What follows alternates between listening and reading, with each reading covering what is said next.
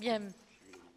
Monsieur le ministre, messieurs les rapporteurs, cher Laurie Hervé, cher Patrick Chaise, mes chers collègues, membres de la commission spéciale. Nous sommes aujourd'hui réunis pour vous recevoir, Monsieur le ministre, cher Jean-Noël Barrot.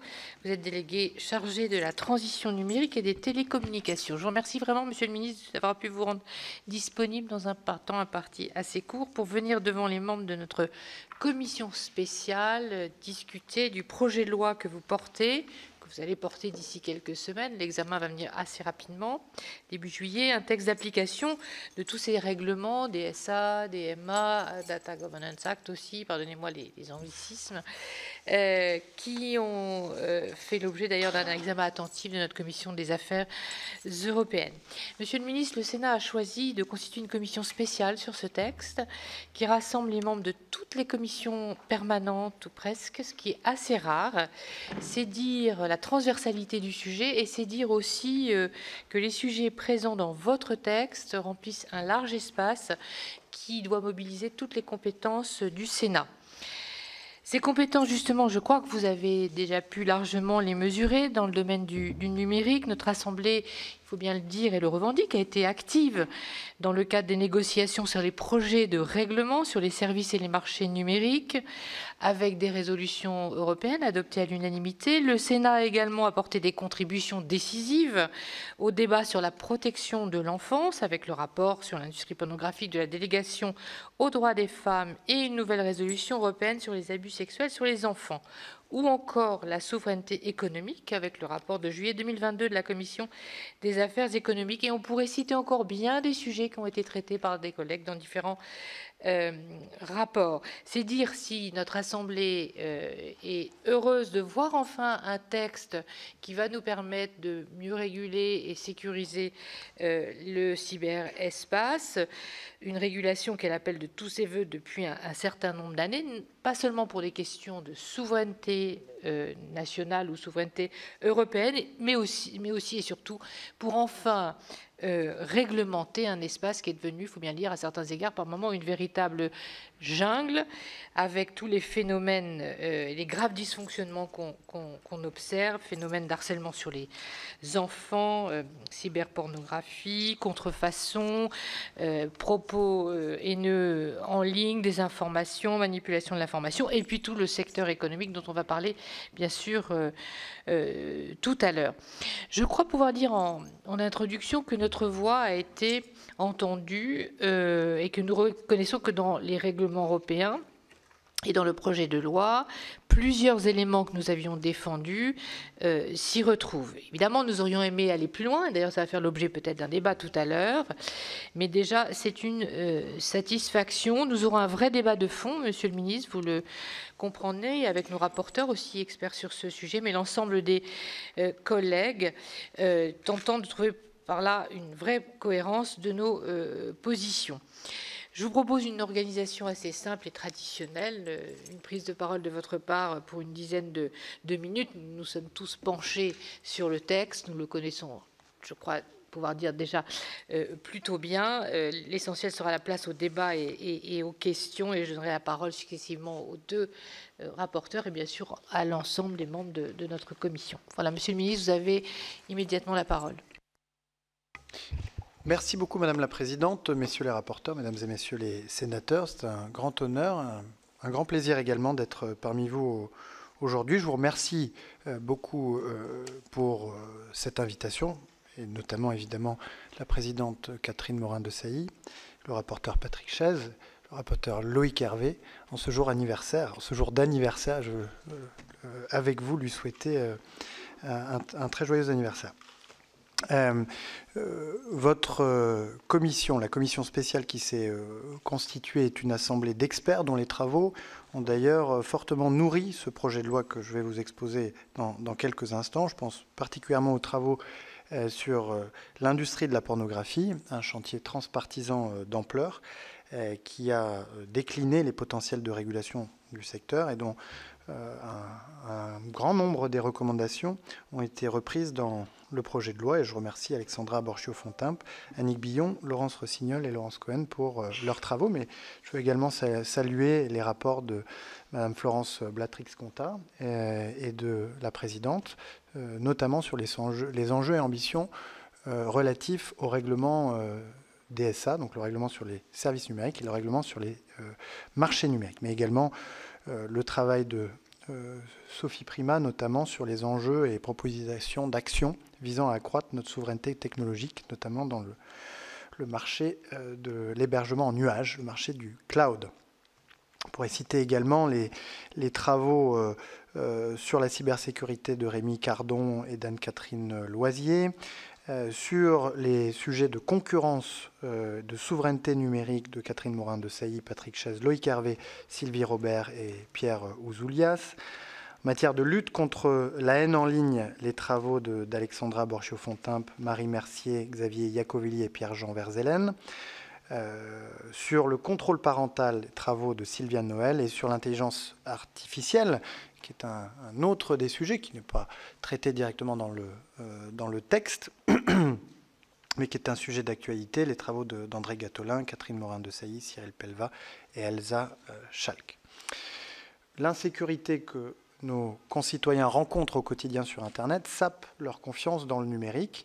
Tous les Français sont concernés, et plus particulièrement euh, les Français les plus vulnérables nos concitoyens les plus modestes, les plus âgés, les plus éloignés du numérique, qui sont les proies privilégiées des cybercriminels, nos enfants, qui subissent en ligne des atteintes brutales à leur innocence, nos entreprises aussi, euh, que la loi du plus fort place dans la dépendance des géants du numérique, et puis notre démocratie, qui est soumise aux coups de butoir incessants des professionnels de la désinformation. Face à l'accumulation de ces désordres, euh, qui viennent jusqu'à questionner parfois, aux yeux de nos concitoyens, la pertinence de la transition euh, numérique, euh, la France, ces dernières années, a montré la voie au niveau national avec des textes qui ont été pris ces dernières années pour lutter contre la désinformation ou protéger l'enfance en ligne. Au niveau européen, avec ces, règlements que la France a portés notamment. Et puis au niveau international, avec des, initiatives multipartites comme l'appel de Christchurch ou le Forum de Paris sur la paix qui ont permis, euh, à défaut d'ériger des, règles contraignantes, d'éveiller la conscience mondiale sur un certain nombre de ces euh, questions. Avec ce projet de loi, la, Première ministre a souhaité inscrire, que la Première ministre a souhaité inscrire à, l'ordre du jour parlementaire avant l'été, qui a vocation à être enrichi et renforcé au Parlement. L'objectif est d'apporter des réponses concrètes aux inquiétudes, aux difficultés et aux souffrances parfois que le numérique peut causer dans la vie euh, quotidienne euh, de nos concitoyens. Ce projet de loi, s'est formé à partir de trois affluents, vous l'avez rappelé, Madame la Présidente. D'abord, euh, les règlements européens que la France a portés l'année dernière, lorsqu'elle présidait l'Union européenne, pour mettre fin aux abus des géants du numérique et qui nécessitent que nous prenions des mesures d'adaptation afin qu'ils puissent correctement s'appliquer dans notre pays le règlement sur les services numériques, le DSA, qui fait entrer les grandes plateformes dans l'ère de la responsabilité, en leur imposant des obligations de modération des contenus qui leur sont signalés, en leur enjoignant à analyser et corriger le risque systémique euh, qu'elles font peser sur le bien-être, la santé de leurs utilisateurs ou sur la qualité euh, du débat public, leur interdisant de proposer de la publicité ciblée sur les mineurs notamment, contraignant à faire auditer leurs algorithmes et à ouvrir leurs données aux chercheurs. Je veux attirer votre attention sur le fait que certaines des dispositions prévues par ce règlement ont d'ores et déjà été mises en œuvre par euh, les géants du numérique. Mais euh, ce que vient faire ce règlement, qui est un compromis atteint au niveau européen, qui n'est peut-être pas allé aussi loin que ce que la France aurait souhaité, mais qui a la force de ce compromis européen, c'est de prévoir un régime de sanctions extrêmement lourdes dans le cas de manquement par les entreprises concernées à ces obligations nouvelles. 6%, du chiffre d'affaires, des amendes pouvant aller jusqu'à 6% du chiffre d'affaires mondial, et puis euh, une, une exclusion de l'Union européenne en cas de manquement répété. Le règlement sur les marchés numériques, ensuite, le DMA, qui a pour objet de rétablir l'équité commerciale dans l'économie numérique et de favoriser ainsi l'émergence d'acteurs français et européens en fixant 26 interdictions qui correspondent à des pratiques commerciales déloyales. Je cite quelques exemples. L'auto-préférence. La faculté, ou en tout cas la pratique qui consiste pour un, éditeur de moteur de recherche, par exemple, de faire remonter plus haut euh, dans les résultats euh, des contenus qui sont euh, produits par une entreprise avec laquelle cet éditeur de moteur de recherche est lié. Cette pratique est déloyale, elle sera désormais interdite. Autre exemple, la pratique qui consiste pour le vendeur d'un téléphone, d'un smartphone, de préinstaller le moteur de recherche, le navigateur, l'assistant personnel. Il y a là une pratique commerciale déloyale puisque ça n'est ni plus ni moins que de la vente liée. Et lorsque vous êtes éditeur euh, de moteur de recherche et que vous vous entendez entrer sur ce marché, euh, vous n'avez aucune chance d'y parvenir euh, tant le marché est verrouillé. dernier exemple, l'utilisation pour des fins publicitaires par un éditeur de réseau social de contenu ou de données collectées sur un autre service édité par euh, la même euh, entreprise du numérique, qui a là aussi euh, une forme d'accaparement du, du, marché et donc une pratique commerciale déloyale. La nouveauté instaurée par le règlement sur les marchés numériques, c'est qu'auparavant, ces pratiques déloyales étaient constatées et sanctionnées a posteriori, mais bien souvent des années plus tard, par les autorités de la concurrence, et que désormais, il y a 26 interdictions qui sont faites par le règlement a priori, sans attendre l'instruction euh, éventuelle et les années euh, qui peuvent passer entre le moment où la plainte est déposée et l'instruction est faite. Puis la deuxième, euh, le deuxième élément notable, c'est là aussi la lourdeur, si l'on peut dire, ou la, la puissance des sanctions, puisque c'est 10% du chiffre d'affaires la première fois, et les 20% du chiffre d'affaires mondial en cas de manquement répété. Première affluence, ce sont donc ces deux règlements européens. Le deuxième, je le disais tout à l'heure, ce sont les travaux euh, parlementaires, des députés euh, comme des sénateurs, issus d'ailleurs de euh, toutes les, sensibilités politiques. Je citais tout à l'heure le, rapport de Danick Billon, d'Alexandra Borchio-Fontin, Laurence Cohen, Laurence Rossignol sur l'exposition des mineurs au porno. Et je voudrais citer également le rapport d'Amel Gacker, Franck Montaugé, Sophie Prima euh, sur la souveraineté euh, économique qui inclut un chapitre dédié à la souveraineté euh, numérique et qui a inspiré les mesures qui concernent le marché du cloud. Troisième affluent, les consultations qui ont été menées, notamment dans le cadre du Conseil national de la refondation. Vous avez donc face à vous un texte qui instaure des protections nouvelles pour nos concitoyens, pour nos enfants, nos entreprises et collectivités et pour la démocratie. Au chapitre des mesures euh, visant à protéger nos, concitoyens. J'en citerai trois. La première, c'est le filtre anti-arnaque, euh, qui servira de rempart contre les campagnes de mail et de SMS frauduleux. On a tous reçu un SMS du compte personnel de formation ou de la sécurité sociale nous invitant à suivre un lien euh, malveillant. Euh, c'est ainsi que 18 millions de Français ont été victimes de cybercriminalité l'année dernière, dont la moitié ont euh, perdu de l'argent. Et ce sont, je le disais, les Français les plus fragiles, les plus démunis, les plus éloignés du numérique, qui se retrouvent spoliés de leurs économies ou entraînés dans la spirale infernale de l'usurpation d'identité dont ils mettent parfois euh, une décennie à pouvoir se sortir. Il faut donc couper le mal à la racine et dévitaliser le commerce de ces mafias qui se sont professionnalisées et qui ont fait de nos smartphones et de nos tablettes l'instrument de leur raquette. Deuxième mesure, une peine complémentaire de bannissement des réseaux sociaux euh, pendant six mois pour les personnes reconnues coupables par le juge de cyberharcèlement. Cyberharcèlement, comme vous le savez, est un phénomène qui se développe massivement et touche toutes les catégories d'âge, qui touche plus particulièrement les femmes, qui sont 27 fois plus exposées au cyberharcèlement que les hommes.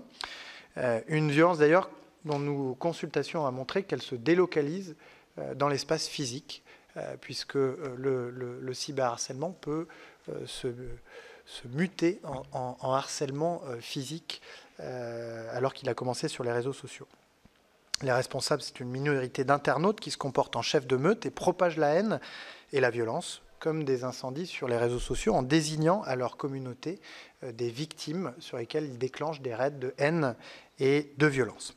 Cette mesure, euh, frappera donc ces chefs de meute là où ça fait mal en les privant de leur caisse de résonance, en confisquant leur notoriété. À l'image de l'interdiction de, des stades, elle préviendra la récidive. C'est donc peine complémentaire à une condamnation pour cyberharcèlement pour une durée de six mois, portée à un an euh, en cas de récidive. Et puis troisième mesure de protection de nos concitoyens, l'encadrement des nouveaux types de jeux en ligne. Euh, l'objectif est de définir un régime euh, pionnier et protecteur des utilisateurs pour l'encadrement des jeux numériques fondés sur les technologies émergentes du Web 3, c'est-à-dire des registres distribués, blockchain, qui offre les garanties nécessaires de protection des mineurs, de lutte contre le blanchiment, de lutte contre le financement du terrorisme, tout en permettant le développement en France de ce type d'activité. Au deuxième chapitre, qui est celui euh, de la protection de nos enfants, deux mesures. D'abord, le blocage, le déréférencement et des amendes dissuasives euh, prononcées par l'ARCOM à l'encontre des sites pornographiques qui ne vérifieront pas l'âge de leurs utilisateurs.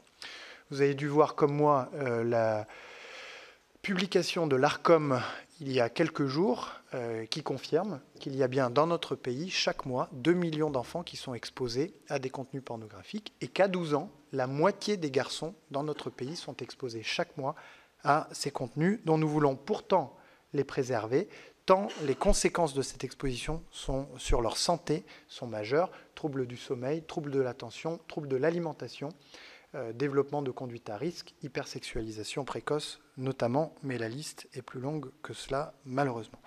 Pourquoi cette situation? Parce que les sites pornographiques ne vérifient pas l'âge de leurs utilisateurs malgré l'obligation qui leur est faite par la loi euh, du, 30 juillet, euh, du, 20 du 30 juillet 2020. Il faut donc soustraire nos enfants au déferlement d'images pornographique en accès libre sur Internet, déversé par, il faut le dire, des mercenaires euh, cupides et irresponsables qui, considèrent que le trafic, que les recettes publicitaires valent mieux que la santé de nos enfants. Il y a une procédure en cours. Euh, le tribunal judiciaire de Paris rendra son verdict euh, dans le cas de cinq sites pornographiques le 7 juillet. Pour l'avenir, les mesures prévues par le projet de loi nous permettront d'agir plus vite et plus fort. Puis deuxième mesure de protection de nos enfants, une peine d'un an d'emprisonnement et 250 000 euros d'amende pour les hébergeurs qui ne retireront pas euh, les contenus pédopornographiques qui leur sont signalés par la police ou la gendarmerie en moins de 24 heures, sur le modèle de la sanction qui s'applique au non-retrait des contenus euh, terroristes. Il y a une obligation aujourd'hui qui est faite dans le droit, mais elle n'est pas sanctionnée euh, par des peines alors même que euh, c'est un phénomène quand même assez massif, puisque vos, auditions euh, passées et à venir vous confirmeront qu'il y a eu l'année dernière 74 000 demandes de retraite contenu euh, pédopornographique adressées aux hébergeurs, ce qui est absolument considérable. Troisième chapitre, la protection de nos entreprises et collectivités.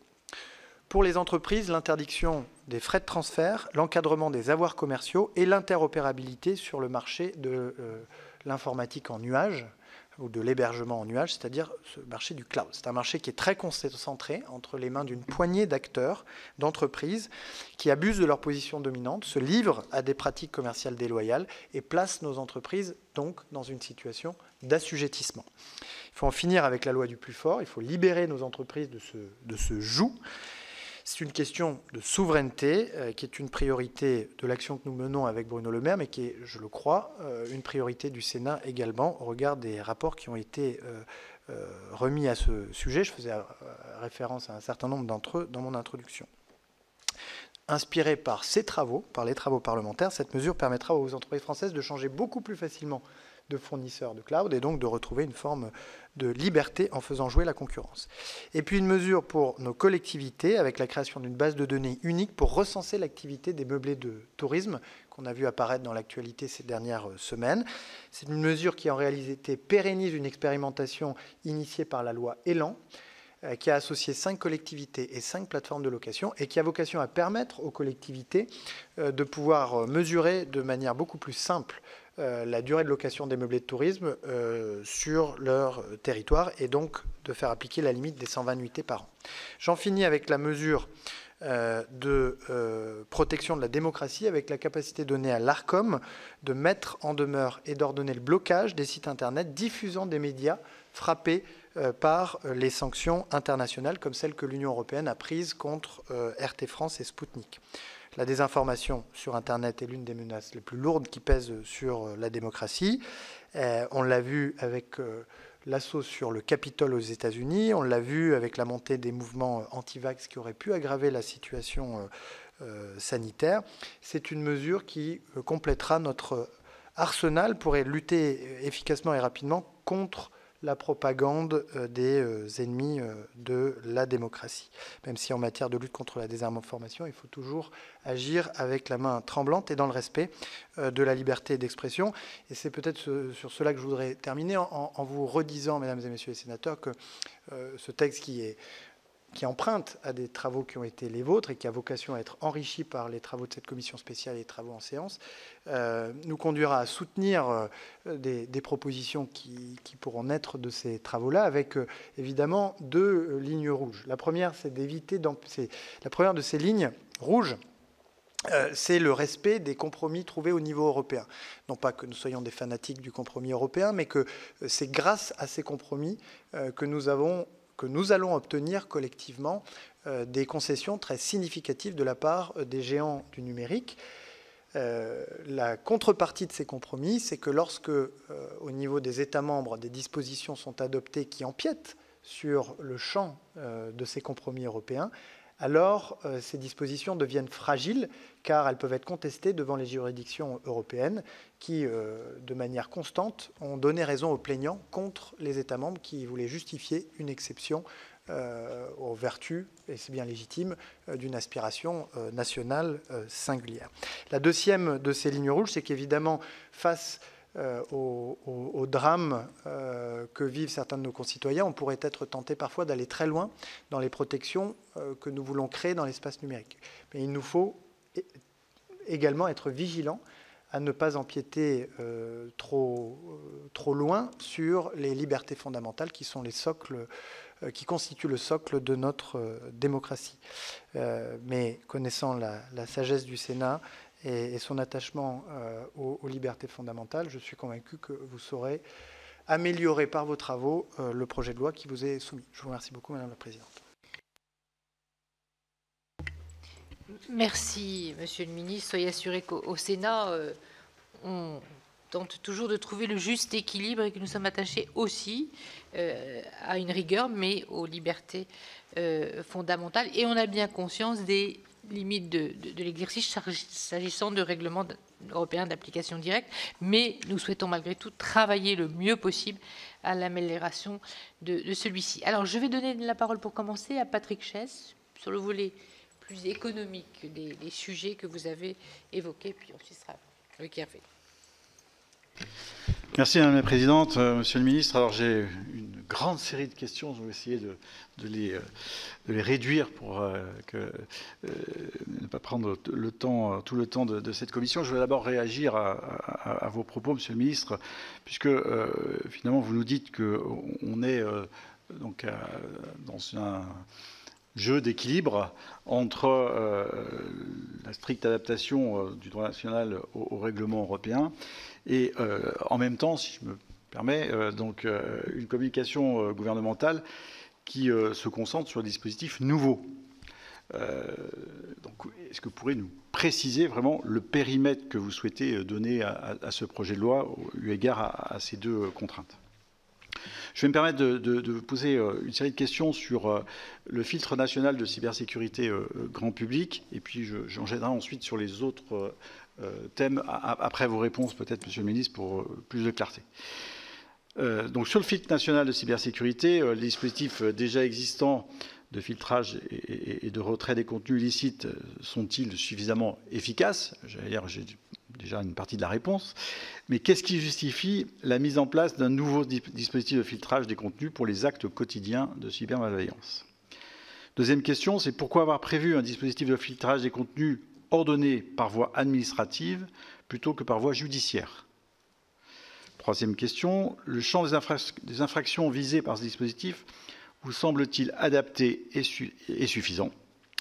Euh, Des infractions supplémentaires correspondant à d'autres actes quotidiens de cyberveillance devraient-elles être ajoutées? Quatrième question, oui, euh, quatrième question. Euh, qui sera l'autorité administrative désignée pour constater les infractions et notifier la mise en œuvre des mesures conservatoires Est-ce que plusieurs autorités administratives seront concernées Et si oui, lesquelles? Et enfin, que pensez-vous de la désignation de la CNIL comme garante du caractère proportionné et justifié des mesures prises par l'autorité administrative? Première série de questions, Monsieur le Ministre, concernant notamment le filtre national de cybersécurité grand public. Merci beaucoup, Madame la Présidente. Euh, sur le, périmètre euh, du, texte, euh, des mesures d'adaptation du droit national devaient être prises pour que les, règlements sur les marchés numériques, sur les services numériques et sur la gouvernance des données puissent être appliqués.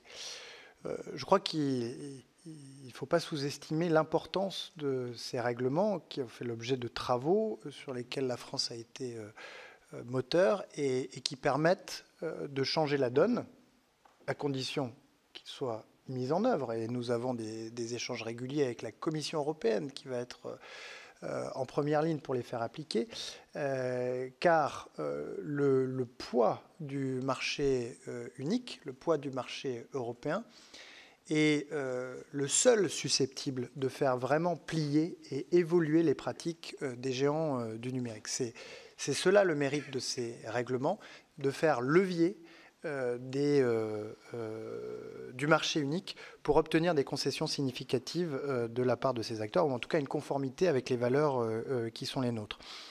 Si nous régulions en ordre dispersé dans l'Union européenne, les géants du numérique se joueraient de nos régulations nationales, les mettraient en concurrence. Vous auriez euh, de, l'arbitrage et du dumping, et nous ne parviendrions pas à faire fondamentalement changer un certain nombre de pratiques, que ce soit en matière de responsabilité euh, sur les réseaux sociaux et euh, en matière d'équité commerciale. Ensuite, s'agissant de la deuxième question qui est sur l'efficacité des dispositifs existants de filtrage et de retrait des contenus existants. Ils ont prouvé, leur, euh, efficacité et d'ailleurs, euh, euh,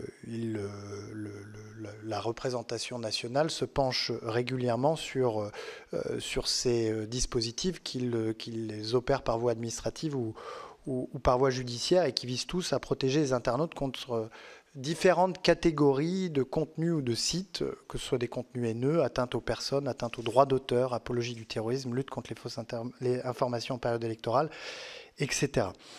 Euh, cependant, aucun des dispositifs existants ne permet de couvrir le périmètre et l'objet de ce filtre euh, anti-arnaque, ce filtre national de cybersécurité, à savoir les sites intrinsèquement et ontologiquement euh, cybermalveillants, qui sont créés par les cybercriminels pour leur permettre de conduire des opérations de hameçonnage, c'est-à-dire de pillage euh, des données euh, personnelles ou d'injection de logiciels malveillants dans les terminaux pour détourner des, moyens de paiement. C'est donc cela l'objectif qui différencie le filtre anti-arnaque des dispositifs de filtrage existants.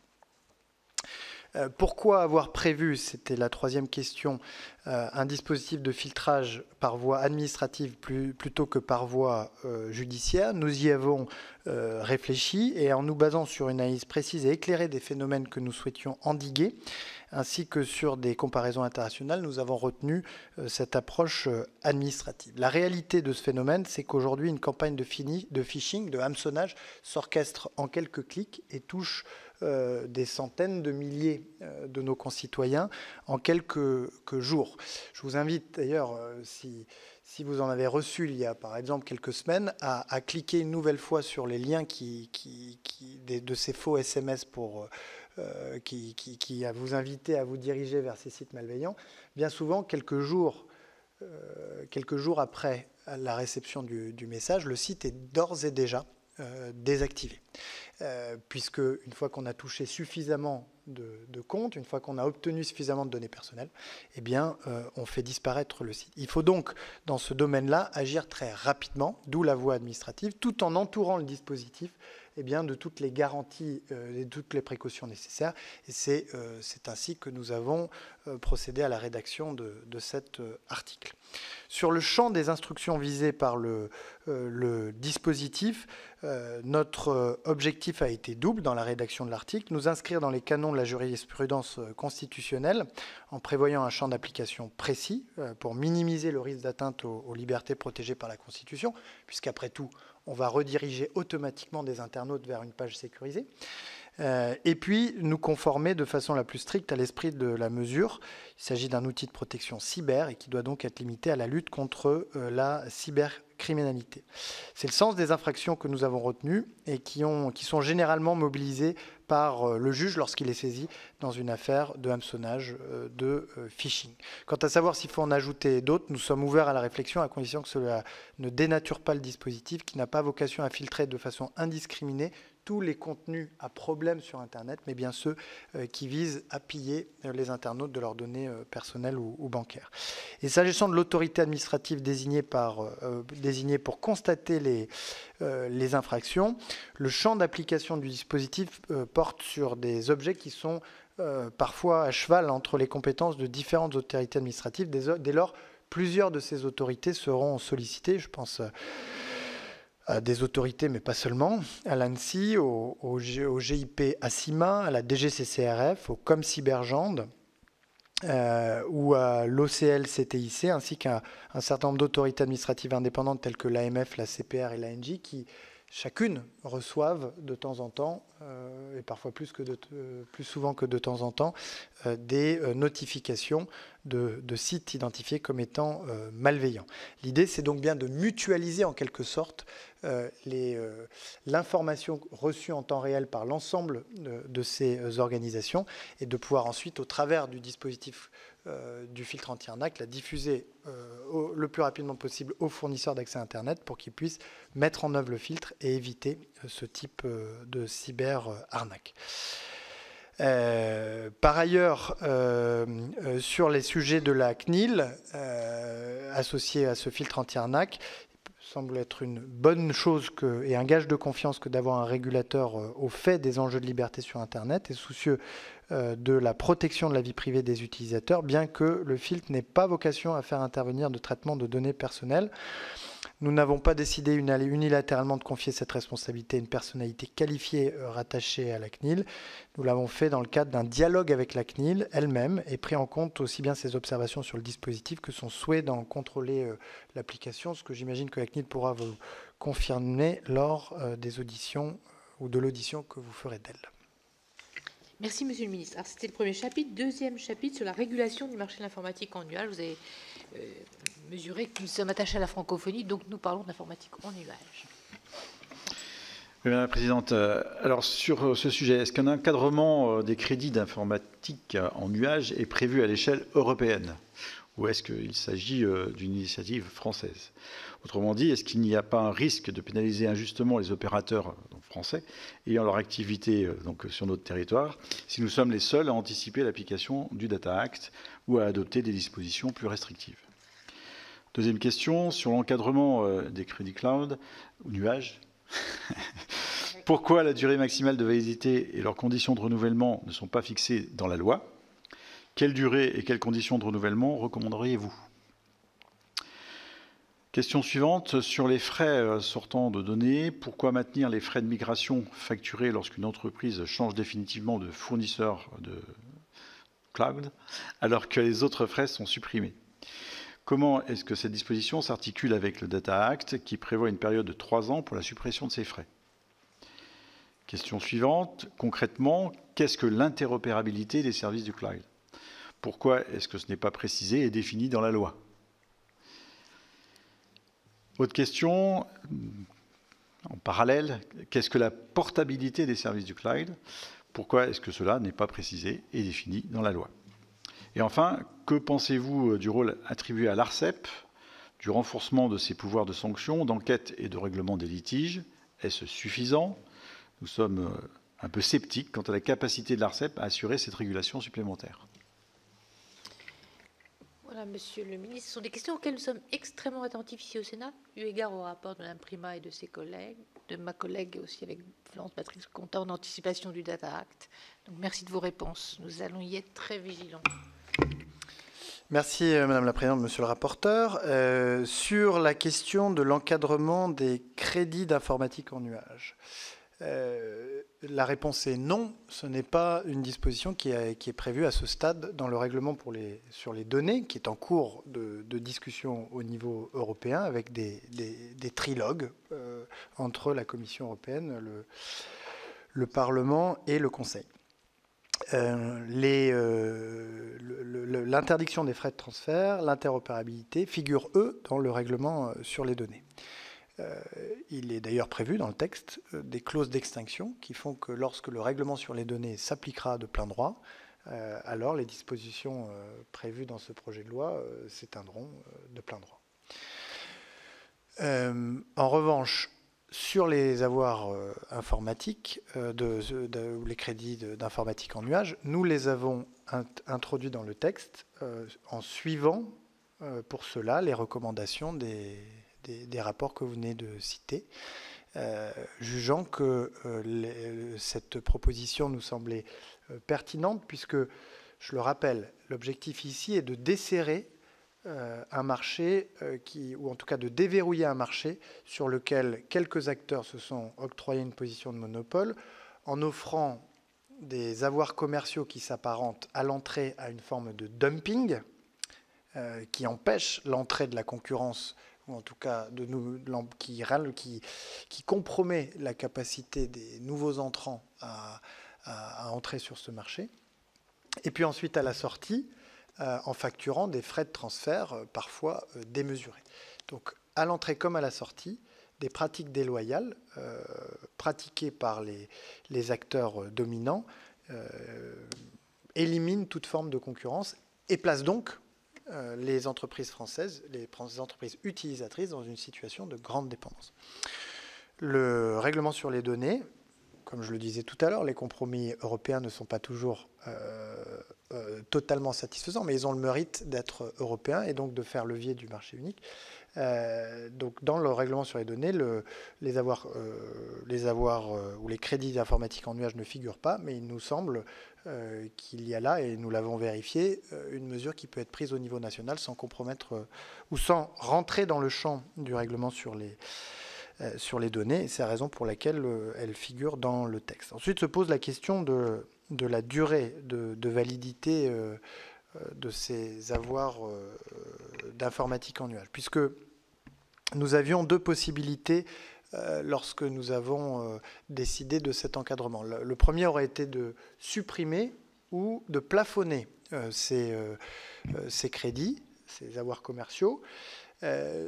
nous avons écarté cette possibilité en raison du fait que beaucoup des, entreprises utilisatrices de ces crédits commerciaux sont des jeunes entreprises innovantes pour lesquelles ces crédits commerciaux s'apparentent ou peuvent s'apparenter à une forme de financement. Nous avons retenu une autre approche qui consiste à un encadrement dans le temps, euh, qui permet, plutôt que de jouer ou plutôt que de brider des montants éventuels qu'une jeune entreprise innovante pourrait solliciter pour cofinancer son développement, eh en tout cas de faire apparaître ces crédits commerciaux pour ce qu'ils sont, c'est-à-dire une forme d'échantillonnage plutôt qu'une sorte de dumping déguisé, euh, euh, éliminant de facto la concurrence se pose la question de la durée de validité, euh, qui dans le texte est renvoyée au décret. Euh, je crois qu'il est nécessaire que nous puissions viser l'objectif de, faire en sorte que ces avoirs commerciaux restent euh, une forme d'échantillon, c'est-à-dire je prends l'avoir commercial pour tester la solution d'un tel ou d'un tel, et non pas pour rester avec lui pendant des années jusqu'au moment où je suis enfermé dans la solution d'un acteur dominant. Il nous paraît donc qu'une durée de validité relativement courte, de 3 à 6 mois, serait un point de départ intéressant. Mais cela suppose sans doute d'avoir quelques discussions euh, complémentaire et c'est la raison pour laquelle nous avons proposé que, euh, cela puisse passer par voie euh, réglementaire. Pourquoi euh, maintenir les frais de migration alors que euh, le, texte propose la suppression des, frais de transfert? Si le manque de transparence et de prévisibilité des frais de migration contribue à la dynamique d'enfermement propriétaire euh, sur le marché, ceux-ci peuvent correspondre à des coûts légitimes et incompressibles pour les fournisseurs de services. En particulier, les frais de migration varient de manière significative en fonction de la complexité du projet de migration concerné. La migration des données RH d'une PME mobilisera moins de ressources que la migration du système d'information d'une grande entreprise euh, bancaire. Ainsi, il peut y avoir des frais qui se justifient lorsque euh, l'on fait euh, la migration. À ce titre, les autorités françaises ont défendu dans le cadre euh, des négociations du règlement sur les données un encadrement basé sur les coûts réels supportés par le fournisseur de services dans le cadre du processus de migration, afin d'éviter de faire peser un poids disproportionné sur les fournisseurs de services français et européens qui seraient davantage impactés en raison de la difficulté à amortir ces coûts via leur base de clients euh, moins large. L'interdiction de la facturation de frais au titre du transfert de données s'inscrit en pleine cohérence avec euh, l'esprit de ce qui a été défendu au, niveau européen, c'est-à-dire une approche par les, coûts euh, et puis une période transitoire durant laquelle les fournisseurs ne pourront facturer des frais dépassant les coûts réels supportés au titre des transferts euh, de données. Et au regard de la baisse constante du prix de la bande passante, principal coût lié euh, au transfert de données et des importantes divergences entre les pratiques des fournisseurs de services alternatifs et dominants, la suppression des frais de transfert de données apparaît être la meilleure approximation du coût réel supporté par les fournisseurs de services. C'est ce qui nous a conduit à prendre cette option dans le texte. Pourquoi euh, portabilité et euh, interopérabilité ne sont pas définis en tant que tels dans le, dans le texte? Eh bien, en réalité, parce que l'interopérabilité repose sur la compatibilité des formats de données et sur l'accès à des interfaces permettant aux différents services de dialoguer et d'échanger des données, à l'instar des interfaces de programmation applicative, les API. Et euh, ces principes d'interopérabilité, de portabilité ne peuvent trouver une définition satisfaisante qu'au travers de l'édiction de spécifications techniques. Euh, quelle, quelle, doit être la nature de ces API, quelles sont les caractéristiques euh, qui, doivent euh, figurer ou qui doivent pouvoir être euh, mobilisés. Euh, les, dispositions introduites dans le projet de loi directement inspirées du projet de règlement européen sur les données, poursuivent l'objectif de définir en lien étroit avec les utilisateurs et fournisseurs de services les éléments techniques qui devront faire l'objet d'un travail de définition collectif afin de rendre effective l'interopérabilité et la portabilité entre les services cloud. Et c'est donc l'ARCEP dont il est prévu que le texte euh, face à euh, le, le, régulateur, si l'on peut dire, de cette euh, interopérabilité et de cette portabilité. Alors vous m'interrogez, monsieur le rapporteur, sur le rôle attribué à, l'ARCEP. Je, vous réponds en disant que l'évolution constante du paysage numérique et de l'économie de la donnée eh bien, euh, créer un contexte dans lequel la proposition d'étendre le mandat de l'ARCEP pour y inclure la régulation des services d'informatique en nuage est un choix logique et stratégique.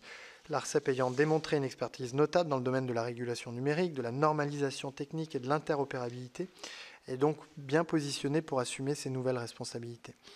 Son expérience solide dans la gestion des sujets en enjeu économique dans le secteur des télécommunications renforce cette proposition.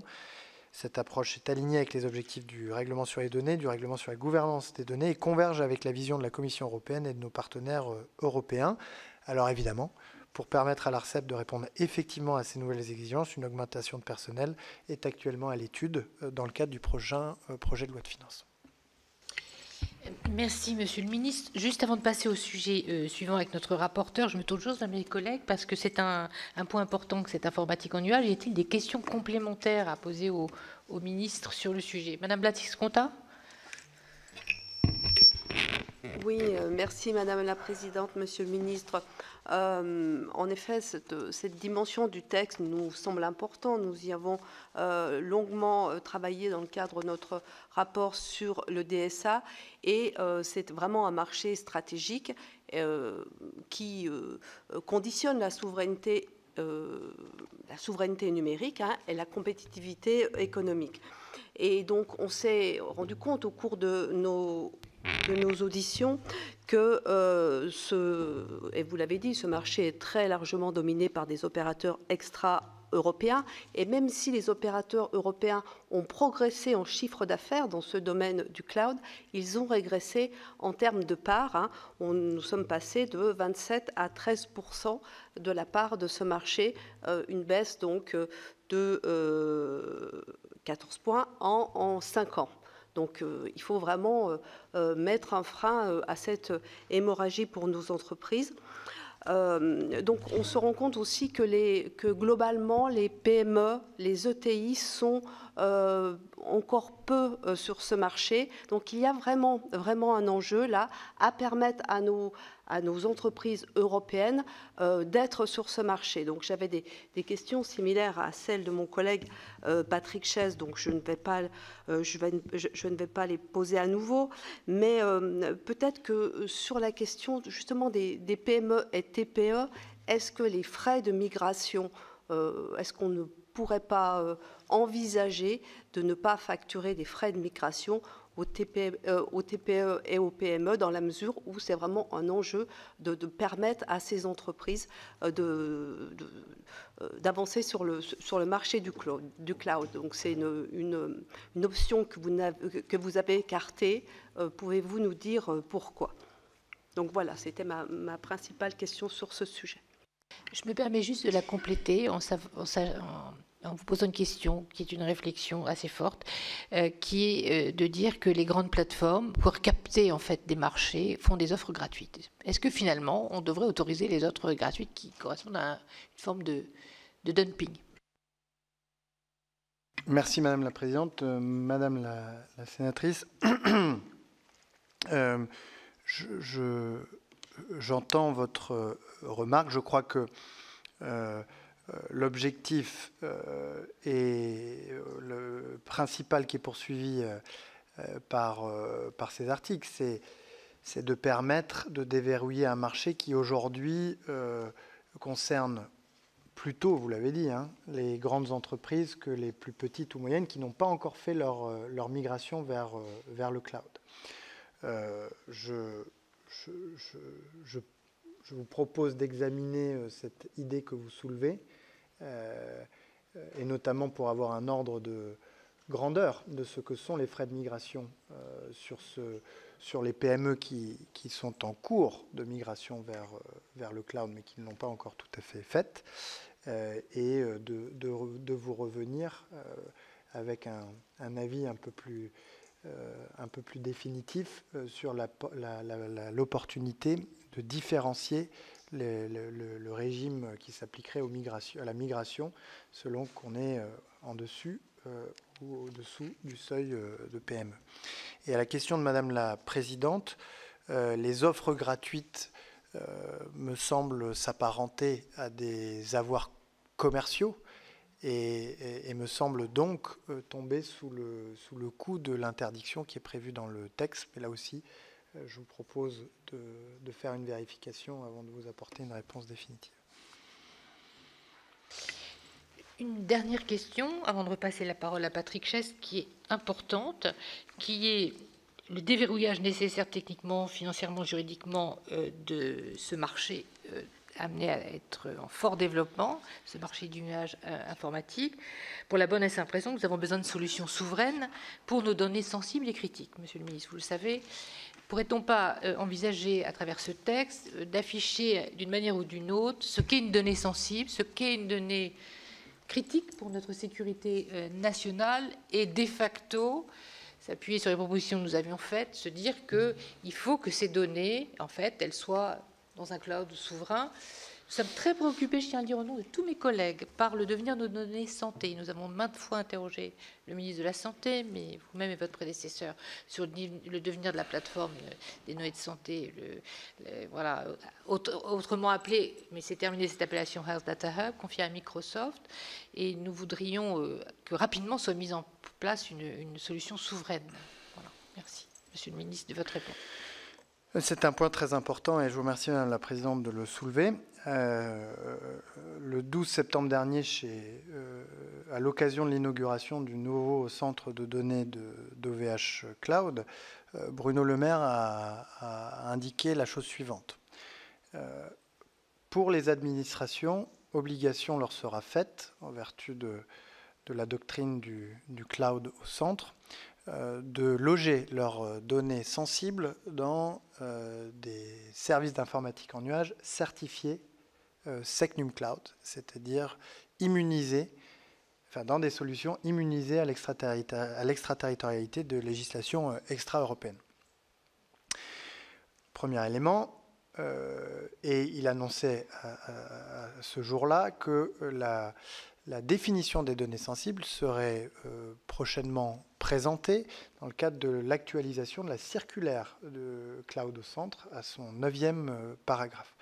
Puis il évoqué une euh, un deuxième élément qui était, que, qui était en réalité un encouragement fait aux entreprises, en particulier celles qui, qui se situent dans des secteurs critiques, celles qui sont des OSE ou des OIV, de considérer très sérieusement l'opportunité de faire la même chose que les administrations, sans quoi, à terme, des mesures de, coercition pourraient être euh, prises. Ce que je puis vous dire, c'est que euh, depuis lors, euh, nous avons fait deux choses. La première, c'est que nous discutons avec nos,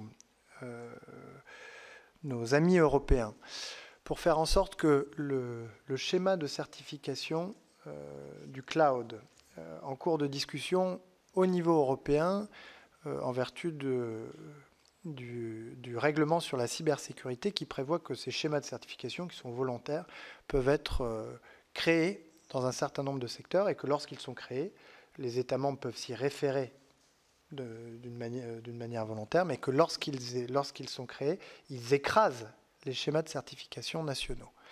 Pourquoi est-ce que nous consacrons autant d'énergie à convaincre nos amis euh, européens, en tout cas certains de nos amis américains qui sont euh, euh, européens qui sont un lapsus, qui sont réticents à, s'imposer comme nous le faisons l'immunité à l'extraterritorialité des législations extra-européennes et américaines en particulier, eh bien parce que ce schéma de certification, s'il, dans son niveau de sécurité le plus élevé, intégrait et il l'intégrera, c'est mon souhait le plus cher, euh, les mêmes critères que, ceux que nous avons retenus pour notre certification nationale. Alors, les acteurs français, les acteurs européens qui ont choisi de faire certifier leurs solutions, qui ont investi du temps et des moyens pour le faire, pourront dès lors euh, passeporter, si, si vous me passez l'expression, leurs solutions dans le reste de l'Union européenne. En revanche, si cette certification euh, volontaire si ce schéma de certification européen ne retenait pas dans son niveau de sécurité le plus élevé l'immunité aux législations extraterritoriales, notre certification SecNum Cloud serait illégale. Il deviendrait illégal en France euh, euh, d'imposer l'immunité euh, à l'extraterritorialité pour des administrations, pour des entreprises, etc. Sauf évidemment pour peut-être des motifs explicite de, sécurité euh, nationale. Donc nous menons cette discussion, nous avons des débats serrés avec un certain nombre d'États membres, notamment euh, les Pays-Bas, qui, derrière eux emmènent, euh, je dirais, le groupe des pays qui sont les plus réticents. Nous avons bon espoir, mais c'est une des raisons pour lesquelles nous n'avions pas, jusqu'à la semaine dernière, publié cette, cette circulaire actualisée. Elle a été le 31 mai et dans son neuvième paragraphe, elle fait apparaître la définition euh, des données sensibles que les administrations devront désormais, lorsqu'elles font leur migration vers l'informatique en nuage, placer dans un cloud certifié SecNumCloud. En parallèle, nous soutenons les acteurs, et notamment les acteurs français, qui engagent le processus de certification de l'ANSI pour, que leurs offres soient certifiées SecNum Cloud, euh, notamment grâce à un guichet que nous avons ouvert il y a quelques mois, on s'y était engagé euh, le 12 septembre dernier, euh, qui donne un petit coup de pouce financier, notamment aux petites et moyennes entreprises du, du, cloud lorsqu'elles veulent faire certifier un, une, solution, mais qu'elles n'ont pas la taille suffisante pour absorber les coûts fixes associés au processus de, certification. Bien, merci Monsieur le Ministre. Tout cela est assez technique, hein, on, l'aura euh, compris. Euh, ce qui nous importe, c'est que les données sensibles des, Français et de facto des, Européens puissent être bien euh, protégées contre une législation extraterritoriale pour l'instant euh, qui nous est défavorable et que forcément nos discussions vont, vont, se poursuivre sur euh, ce sujet et nous y serons euh, très très attentifs. Alors je repasse la parole tout de suite à Patrick Chaise sur un sujet très important aussi qui concerne les jeux à objets numériques monétisables pour lequel un, nouveau cadre juridique est en cours d'élaboration. Voilà, cher Patrick, je te passe la parole. Merci, Madame la Présidente. Oui, Monsieur le Ministre, sur ce sujet, si vous deviez définir simplement ce que sont les jeux à objets numériques monétisables, quelle définition retiendriez-vous?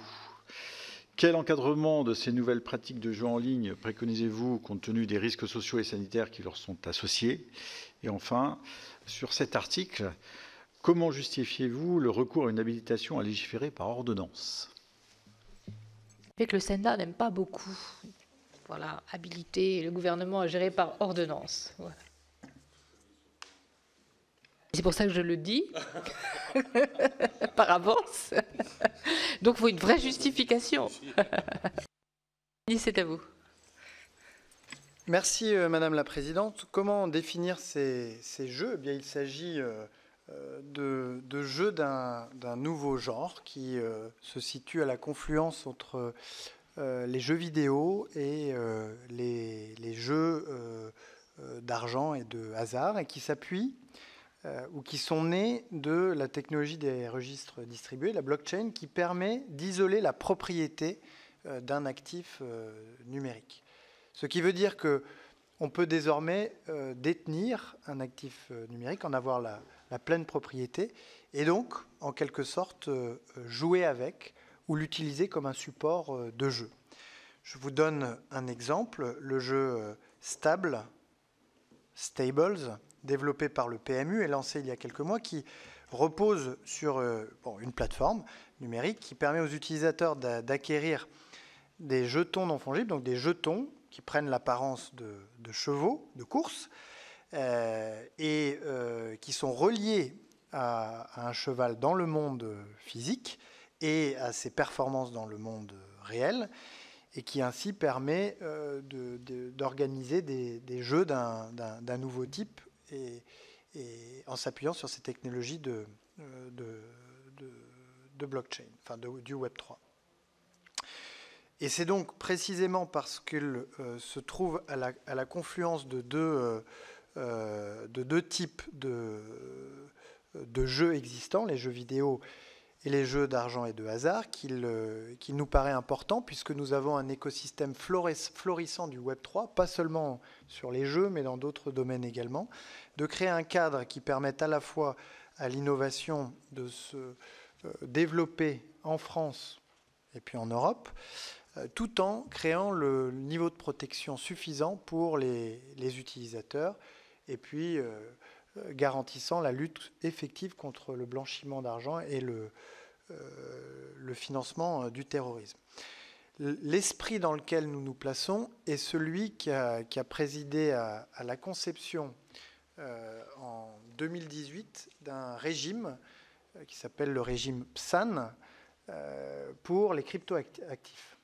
Dans le cadre de la loi Pacte, ce régime a été construit, qui soulevait au départ quelques interrogations, mais qui a été conçu précisément pour créer un cadre suffisamment souple pour que l'innovation puisse se développer, pour que la France soit d'ailleurs attractive pour l'innovation, euh, mais suffisamment protecteur pour euh, créer un niveau de confiance suffisamment élevé. Cinq ans plus tard, que s'est-il passé? Eh bien, euh, le cadre que nous avions défini a permis d'attirer en France les principaux leaders mondiaux dans ce domaine et de susciter en France des vocations entrepreneuriales très, très importantes. La semaine dernière encore, hier soir encore, nous avons euh, reçu la confirmation qu'un acteur américain euh, de ce domaine-là euh, avait choisi la France pour installer pour s'installer.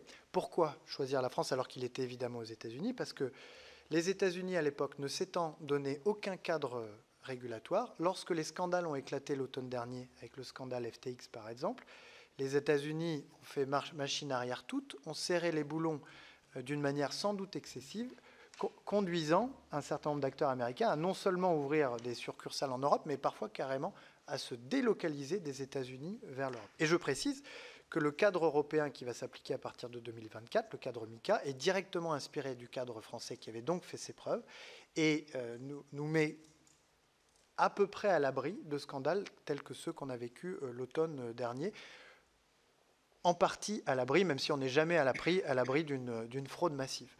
Ce que je veux dire par là, c'est que au fond, et j'en viens ensuite à la question de l'habilitation à légiférer par, par, ordonnance, au fond, c'est la même chose que nous essayons de construire pour euh, ce type de jeu-là, c'est-à-dire une réglementation à la fois protectrice, à la fois susceptible de, conduire à un peu plus d'innovation, et si nous le faisons suffisamment intelligemment, à inspirer la réglementation qui viendra au niveau européen pour que les gens viennent faire de la France leur camp de base pour euh, euh, soit, qu'ils soient déjà en France, soit qu'ils soient à l'étranger, pour leur, euh, expansion européenne. Autrement dire, venir innover, innover en France quand on veut s'adresser au marché européen. Alors pourquoi le recours à une habitation à légiférer par ordonnance?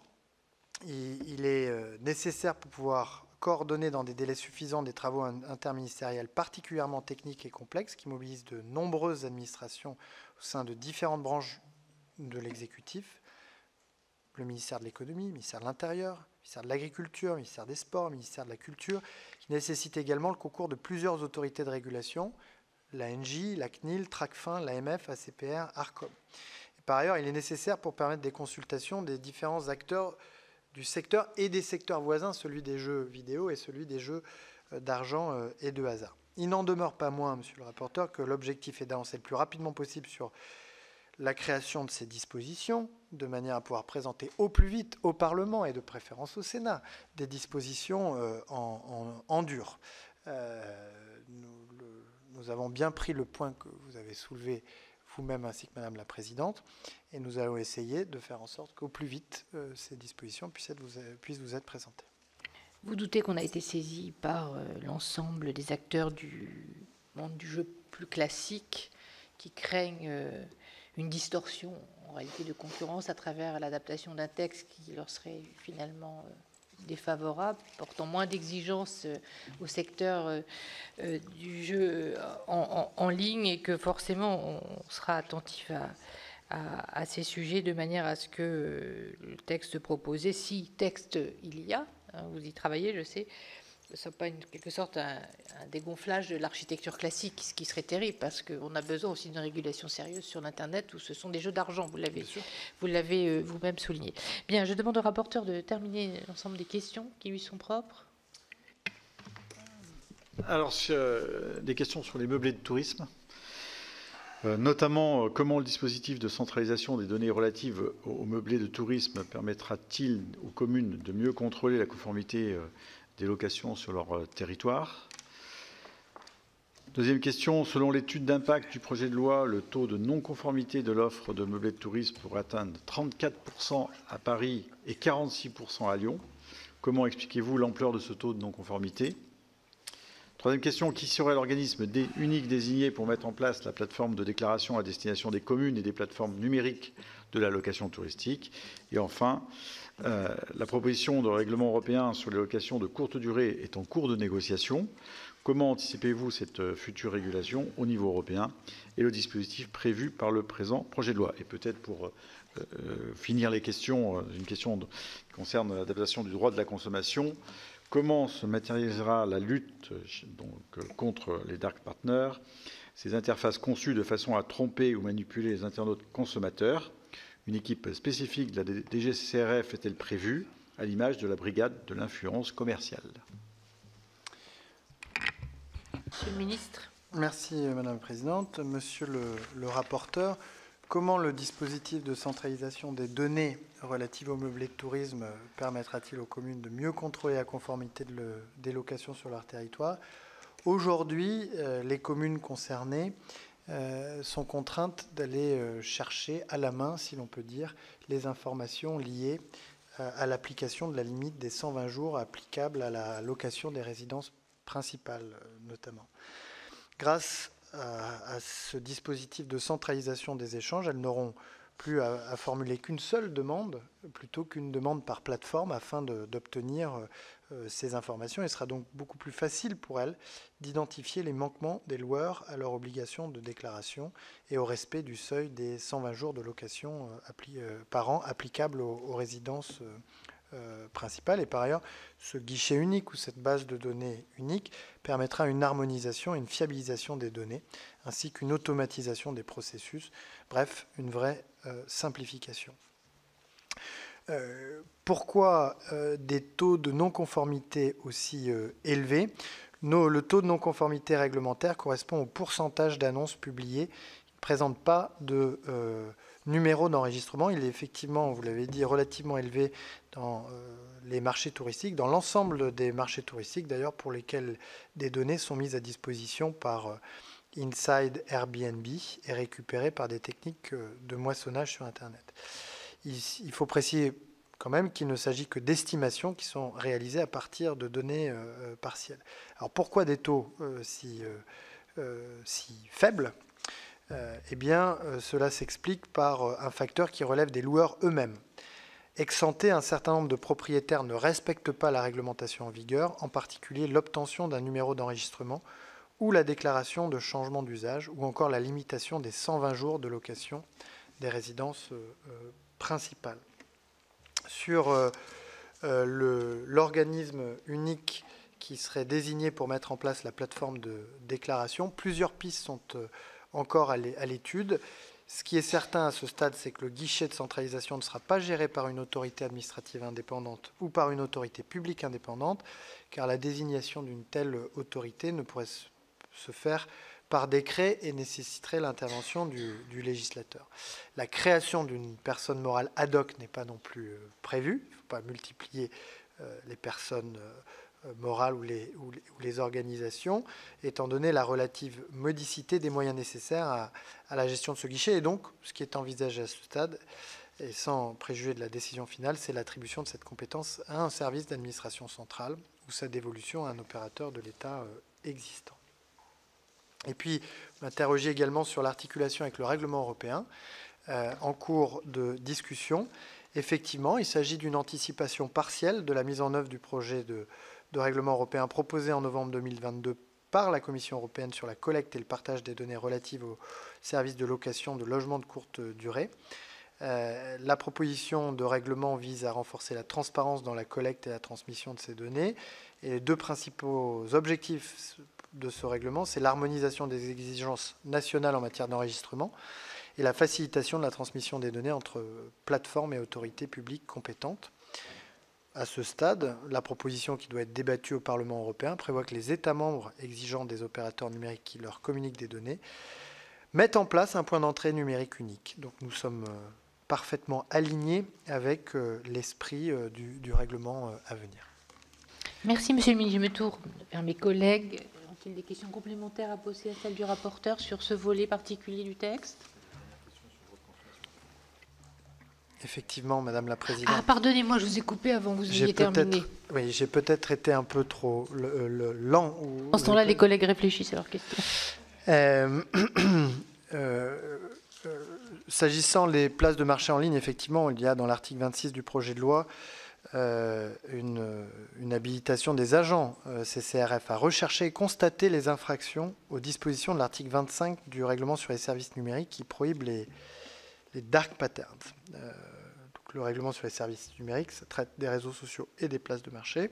À cet effet, les, agents disposent de pouvoirs d'enquête prévus par le Code de la consommation, qui sont considérés comme des pouvoirs de police judiciaire exercés sous l'autorité du procureur de la République, puisqu'il s'agit d'infractions pénales punies à titre principal d'un emprisonnement de deux ans et d'une amende de 300 000 euros, dont le montant peut être porté de manière proportionnée aux avantages tirés du délit à 6% du chiffre d'affaires euh, mondial.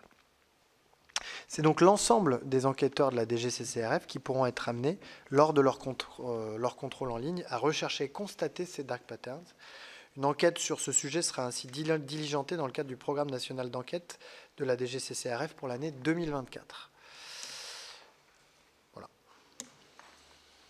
Bien, merci Monsieur le Ministre. je me tourne vers mes collègues.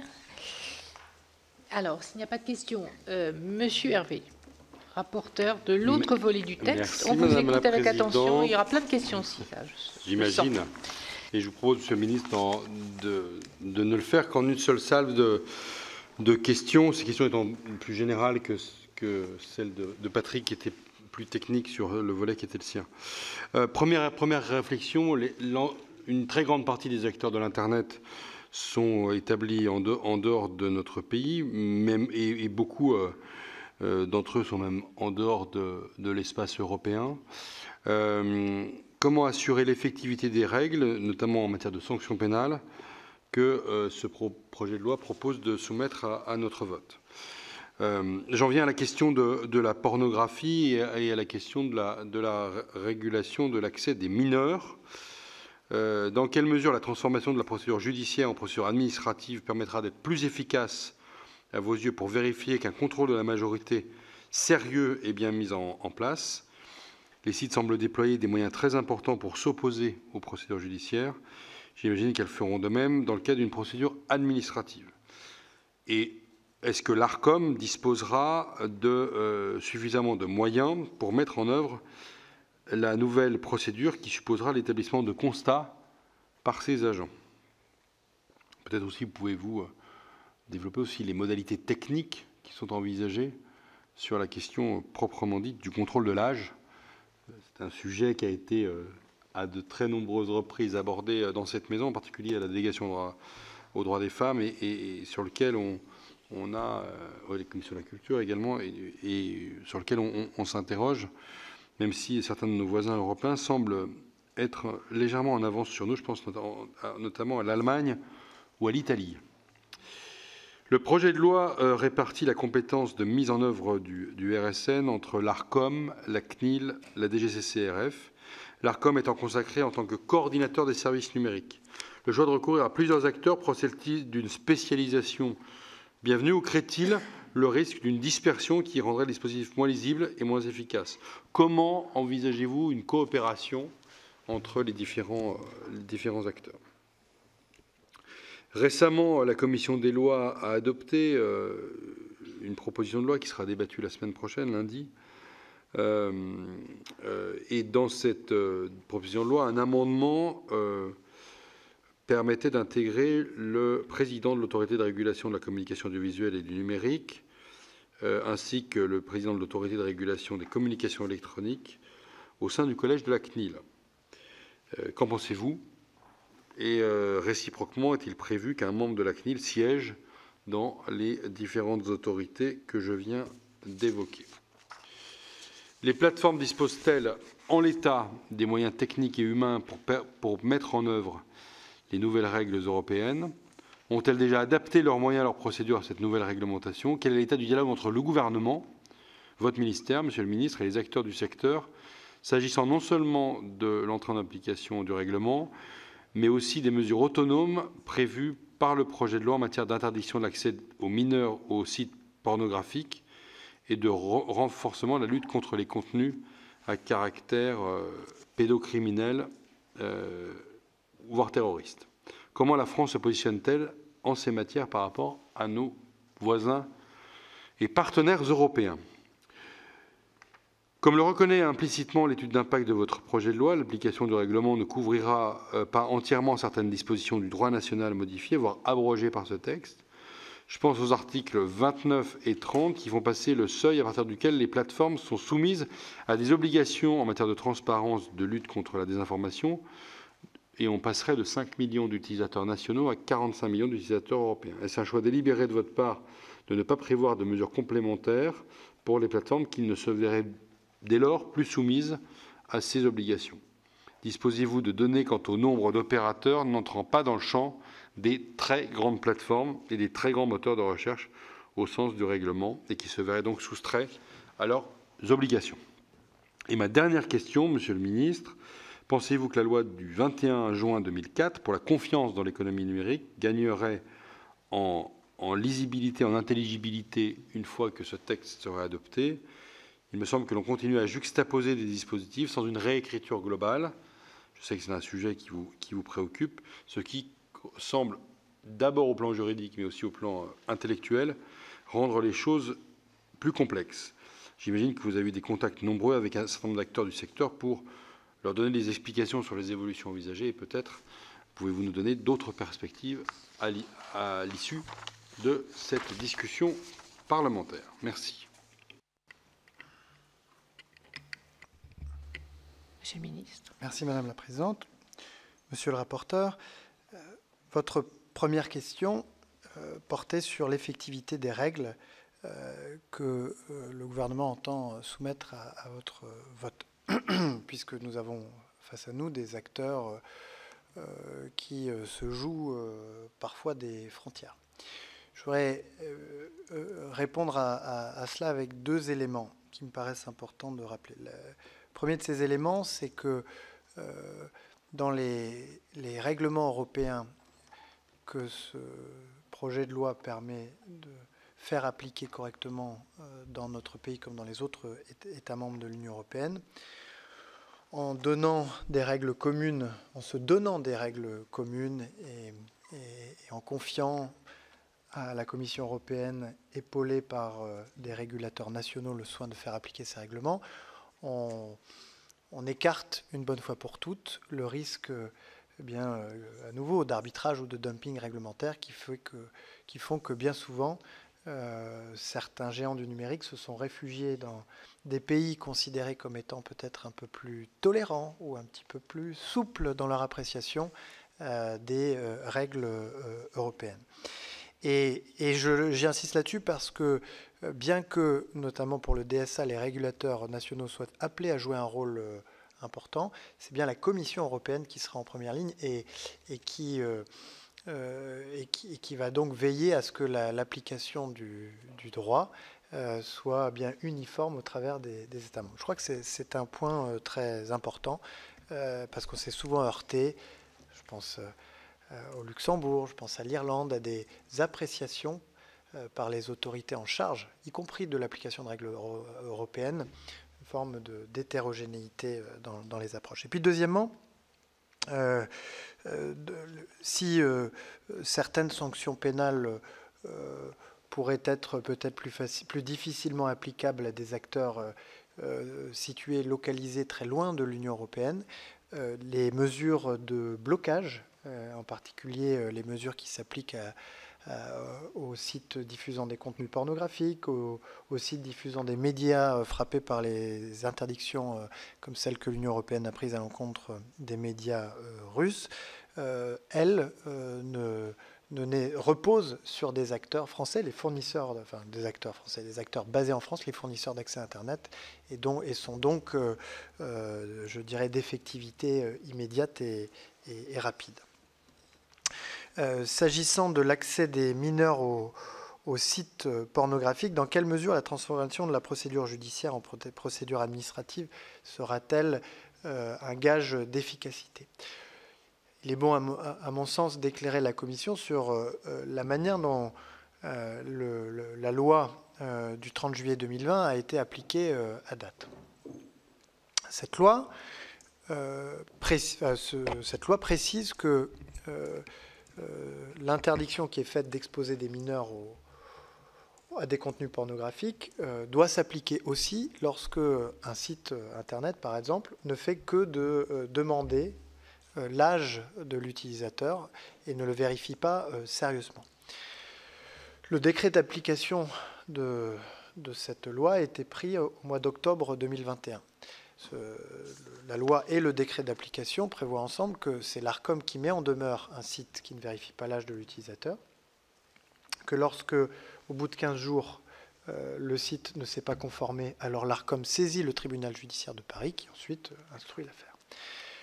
En octobre 2021, l'ARCOM met en demeure euh, cinq des, principaux sites pornographiques de, de, mettre en place un système de vérification d'âge. Constatant qu'un jour plus tard que euh, cette mise en demeure n'a pas été suivie des faits, l'ARCOM, au mois de novembre 2021, saisit le tribunal judiciaire de Paris. Au mois de septembre 2022, euh, le tribunal judiciaire de Paris convoque euh, une audience qui rassemble les sites concernés et l'ARCOM. Les sites concernés se présentent à l'audience en brandissant une question prioritaire de constitutionnalité. Le tribunal judiciaire de Paris renvoie la question prioritaire de, transmet la question prioritaire de constitutionnalité à la Cour de cassation et ordonne une médiation entre les sites pornographiques et, et l'ARCOM. Au mois de janvier 2023, la Cour de cassation annonce ne pas transmettre la question prioritaire de constitutionnalité au Conseil constitutionnel. Et quelques semaines plus tard, euh, euh, et quelques semaines plus tard, euh, l'ARCOM annonce sortir de la médiation avec les, sites pornographiques. L'ARCOM se tourne à nouveau vers le tribunal judiciaire de Paris, qui convoque une audience qui s'est tenue au mois d'avril 2023.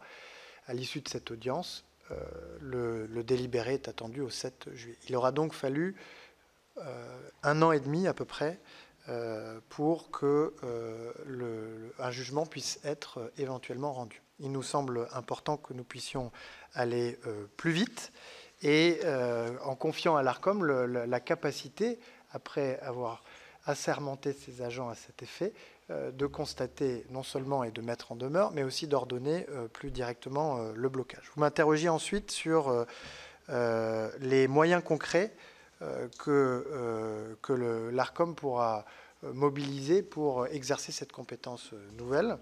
je veux d'abord rappeler qu'il faudra qu'elle puisse disposer de moyens humains pour cela. Il y a aujourd'hui 370 euh, agents à l'ARCOM, en comptant les 16 antennes territoriales. Euh, il y a aujourd'hui 10 euh, recrutements en cours pour la mise en œuvre des, des, des responsabilités, des compétences nouvelles confiées à l'ARCOM par le, le DSA. Euh, vous m'interrogez également sur la question de la vérification de l'âge, qui elle aussi avait fait l'objet de travaux approfondis par euh, euh, la mission parlementaire, la mission des, sénatrices et le rapport en fait état. Il est prévu dans le texte que l'ARCOM, après avis de la CNIL, publie un référentiel qui dira ce que doit être au minimum une solution de vérification d'âge acceptable, sans attendre évidemment que ce, euh, projet de loi ne soit adopté, il, appartient au site Internet euh, concerné notamment par la procédure en cours de mettre euh, dès aujourd'hui en place des systèmes de vérification d'âge. Il en existe, il en existe. Certes, ils ne sont pas absolument parfaits, mais ils, permettraient d'éviter l'exposition massive des mineurs au porno que, l'ARCOM a encore dénoncé dans son, étude publiée il y, a, quelques semaines. Néanmoins, pour, pour anticiper sur l'adoption de ce projet de loi, nous avons encouragé des entreprises françaises à se saisir de cette problématique, la problématique de la vérification de l'âge en ligne, en les appelant à suivre les recommandations du rapport des sénatrices, celles de la CNIL et de l'ARCOM, et à essayer de développer des solutions de vérification d'âge qui soient doublement anonymes. C'est-à-dire que le fournisseur de la preuve d'identité ne puisse pas connaître, de la, preuve de majorité ne puisse pas connaître ce pourquoi cette preuve est utilisée. Peut-être sera-t-elle utilisée pour consulter un site pornographique, peut-être sera-t-elle utilisée pour euh, l'achat euh, de produits alcoolisés, peut-être sera-t-elle utilisée pour l'achat de jeux d'argent et de hasard qui sont eux aussi soumis à des, à des restrictions d'âge. Et puis le site, quant à lui, qui va solliciter la preuve de majorité pour donner l'accès à son service à un utilisateur, ne doit pas avoir à connaître l'identité euh, de la personne euh, concernée. Euh, vous m'interrogez ensuite sur la répartition des compétences entre, le, entre, les différentes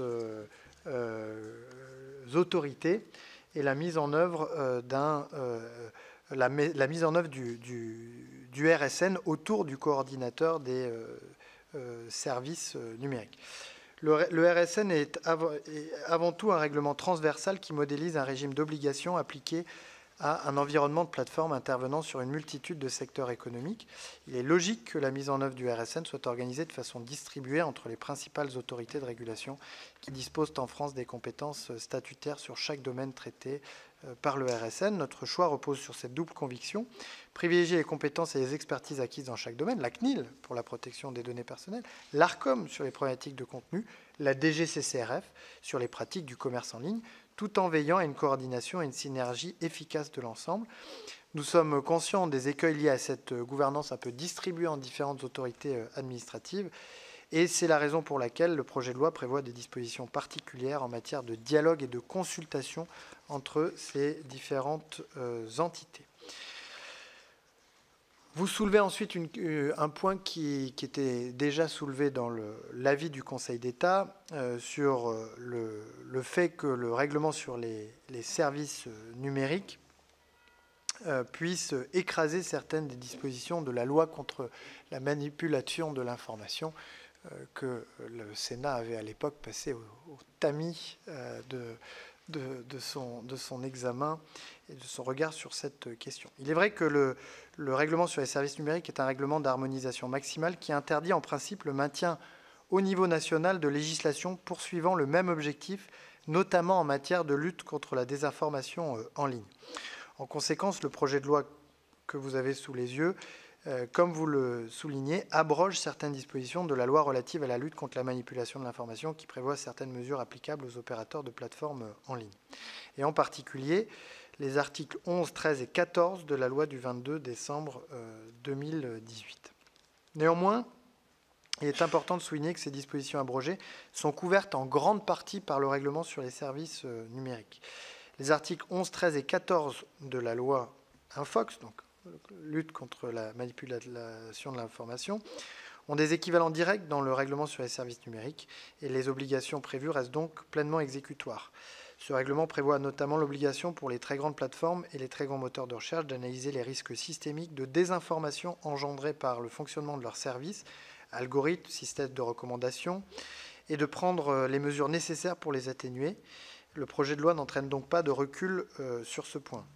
En outre, s'agissant du code électoral, vous pouvez constater que le gouvernement a suivi l'avis du Conseil d'État et n'a pas procédé à l'abrogation euh, de l'article L163-1, mais a seulement procédé à de légères modifications de cohérence avec le DSA. Il a été décidé au regard de la sensibilité de l'information des personnes en période électorale de conserver l'obligation pour les très grandes plateformes et très grands moteurs de recherche de faire figurer les informations listées par le présent article.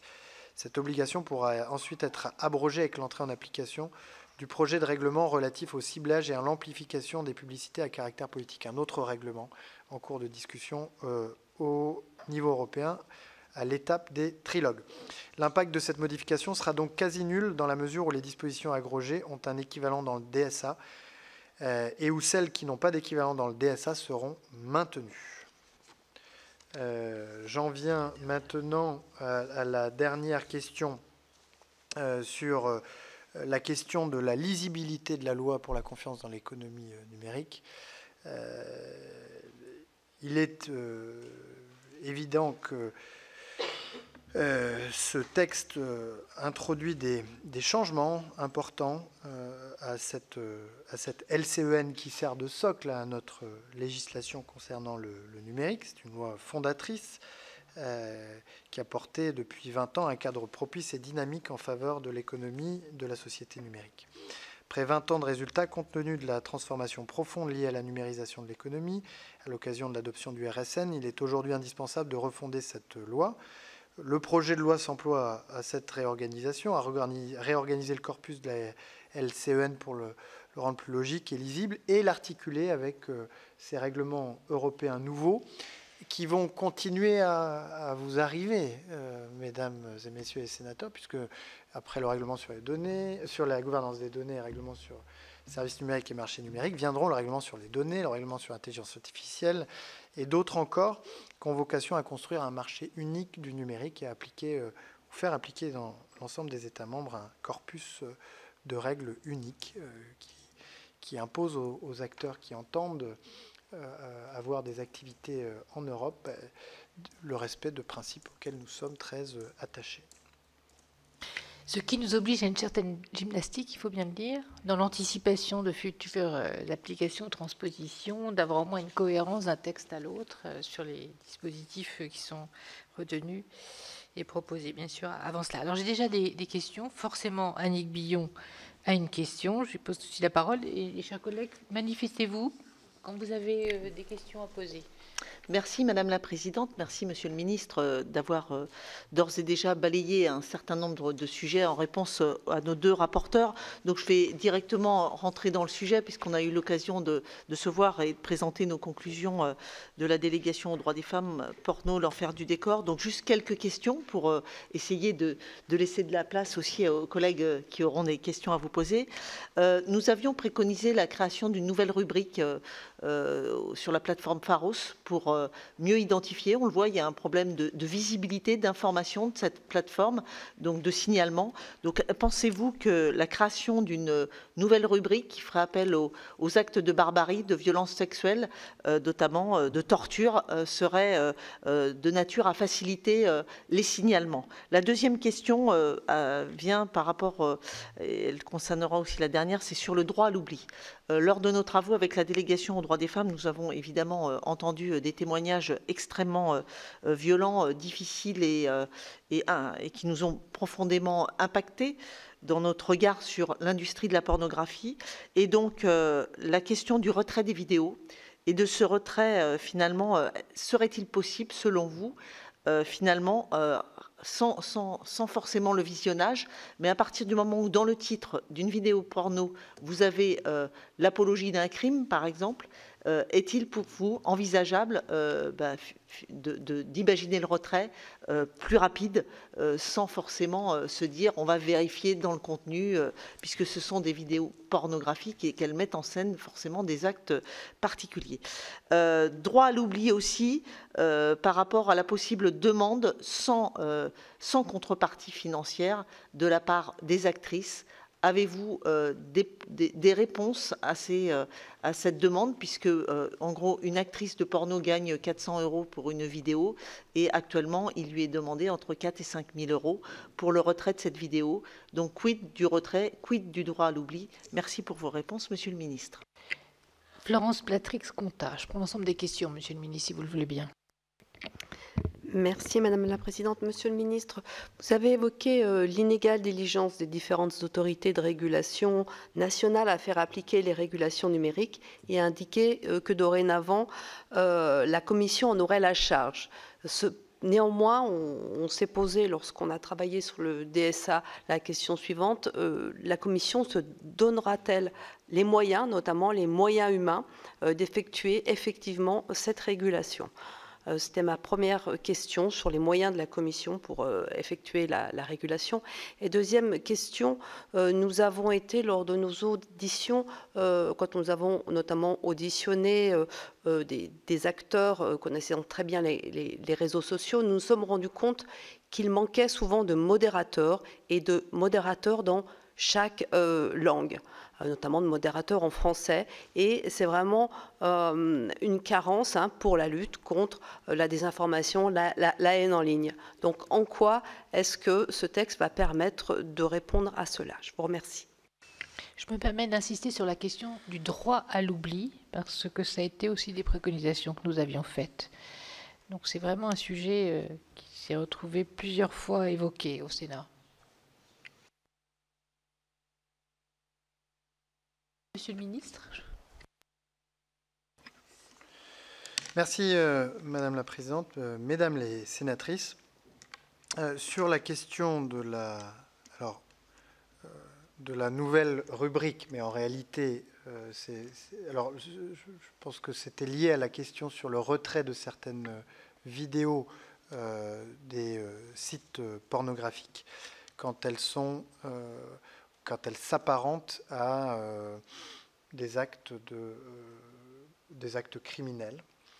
Euh, nous avons, à l'appui de, vos travaux, engagé des discussions avec le Haut Conseil à l'égalité qui les a relayées et, ma collègue Isabelle Rome pour, pour explorer les, les, moyens je dirais, juridique de caractériser de manière suffisamment précise une, catégorie de, vidéos qui pourrait justifier d'être retirées. cela, nous devons vraiment le faire avec l'esprit de ne pas franchir les, lignes de, la liberté d'expression, de liberté de communication, mais avec à l'esprit aussi toutes les violences que, vous citez. Autrement dit, euh, le, diable se nichant dans les détails, la question au fond est de savoir si, de manière suffisamment précise, euh, une, euh, une, vidéo peut, être identifiée comme comme un acte de barbarie et donc amener à un retrait automatique comme euh, cela est prévu, ou un, pas automatique, mais un retrait euh, sur, injonction de Pharos ou des forces de l'ordre, comme c'est le cas pour les contenus terroristes ou les contenus pédopornographiques. mais c'est un sujet dont nous avions parlé, auquel nous continuons de réfléchir, sur lequel nous n'avons pas encore trouvé la, solution. Euh, et sur la question du droit à, l'oubli, euh, le, RGPD le, prévoit dans le cas des, des, données ou des images, qui sont des images euh, personnelles, qui n'ont pas fait l'objet d'un contrat. Ce, que vous proposez est de venir écraser un, contrat, dans le cas que vous citez, qui est celui des images pornographiques. Euh, sur ce sujet, euh, nous avons saisi le garde des Sceaux et le, garde des Sceaux souhaite organiser un groupe de travail réunissant les experts euh, sur cette question pour essayer de trouver une réponse adaptée et satisfaisante qui mobilisera à la fois le, droit des, contrats en plus de, celui du droit à la, vie privée, à la protection des personnes sur les questions de Mme Blatrix-Conta sur les moyens de la Commission, c'est une question que, euh, que je pose euh, à chaque fois que je rencontre euh, le, commissaire compétent, c'est-à-dire Thierry Breton.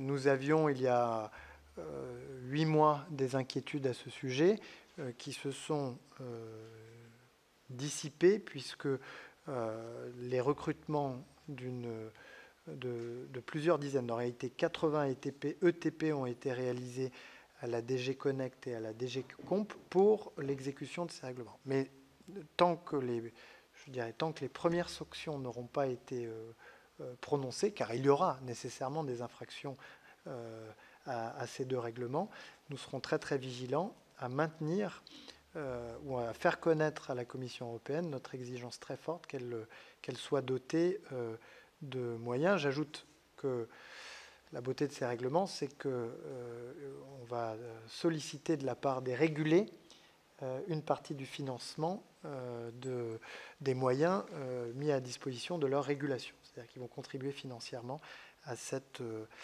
régulation. Puis s'agissant de la modération, c'est le DSA qui désormais va imposer aux plateformes de mettre en place des, dispositifs euh, qui devront être par ailleurs euh, audités et qui seront sanctionnés par des amendes particulièrement lourdes, ce qui, nous le, pensons, les conduira à améliorer leur processus de modération, alors qui, qui ne passe pas toujours ou pas intégralement par des moyens humains, qui passe aussi par euh, de l'intelligence artificielle notamment, hein, qui a sur certaines plateformes contribué à, éliminer beaucoup de contenus qui étaient immédiatement euh, identifiables comme, euh, comme étant illicites, en tout cas beaucoup plus rapidement qu'auparavant.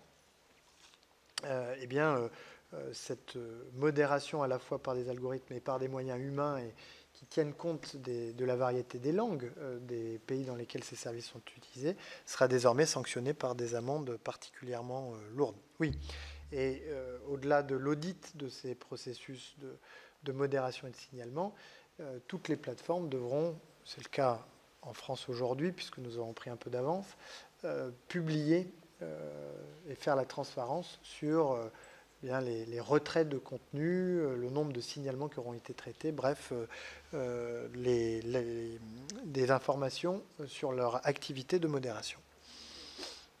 Merci, Monsieur le Ministre. Alors, Madame Toine Bourra va intervenir. Merci, Madame la Présidente. Monsieur le ministre, moi je souhaiterais aborder le chapitre sur le cyberharcèlement. Donc moi je suis euh, préoccupée par la proposition euh, faite dans la proposition de loi qui consiste à bannir des réseaux sociaux les personnes condamnées pour avoir diffusé de la haine et la violence sur, un réseau social. Et compte tenu du décalage entre euh, la vitesse à laquelle fonctionne la justice et la viralité des réseaux sociaux, euh, je me demandais s'il était envisageable, en tout cas, euh, d'imaginer des dispositions qui enjoignent les réseaux sociaux à mieux traiter, à mieux réguler les, signalements par exemple, parce qu'il me semble qu'entre le moment où on est victime de cyberharcèlement et le moment où l'agresseur potentiel sur le net est condamné, j'ai bien peur que les délais soient très très longs et donc que cette disposition euh, soit inefficace. Monsieur le ministre. Merci Madame la, Présidente. Madame la Sénatrice, vous avez raison, il y a, assez peu de, condamnations euh, aujourd'hui. Et euh, ces condamnations, en revanche, méritent d'être diffusées, puisque on s'aperçoit quand on regarde les, qui, étaient les agresseurs de Mila, qui étaient les agresseurs d'Eddie de Preto, qui étaient les agresseurs de Oshi, qu'on trouve là euh, des, personnes qui, se pensant à l'abri derrière un pseudonyme, ont euh, déclenché effectivement ou participé à des raids de, haine et de violence, mais sans soupçonner qu'ils pouvaient être euh, punis par des, des peines d'emprisonnement, car c'est le cas. Euh, euh, mais euh, cette mesure de, de, bannissement qui vient s'ajouter à une éventuelle condamnation n'est qu'un des, des, éléments. Oui, pardon. Alors je, voulais justement donner quelques-uns de ces exemples, puisque nous sommes devant une commission spéciale du Sénat, et il paraît utile de, rappeler les condamnations qui ont été prononcées à l'encontre des, des agresseurs, des personnes que je viens de citer. Dans l'affaire Mila, euh, c'est 12 euh, mois de prison ferme qui ont été prononcés à l'encontre d'un jardinier euh, de 23 ans pour des menaces de viol et de mort sur, sur Internet. Puis en juillet 2021, 4 à 6 mois de prison prononcés à l'encontre de 11 personnes et deux mois plus tard, 10 mois de prison pour une personne ayant menacé Mila de mort. Dans le cas d'Eddie de Préto, ce sont 11 cyberharceleurs qui ont été condamnés en décembre 2022 à des peines de 3 à 6 mois de prison. Et puis, vendredi dernier, euh, huit mois de prison, dont deux mois de prison ferme, ont été euh, prononcés à l'encontre de l'un des cyberharceleurs de Oshi et 5 euh, 000 euros de dommages et intérêts qu'il devra verser à l'artiste de 26 ans. Et cette personne-là, en question, a, dit qu'elle n'était pas du tout consciente que, les actes qu'elle était en train de perpétrer étaient, aussi graves et, sanctionnés par des, des peines aussi lourdes. Et donc, il nous paraît important que les peines, lorsqu'elles soient prononcées, euh, soient particulièrement lourdes.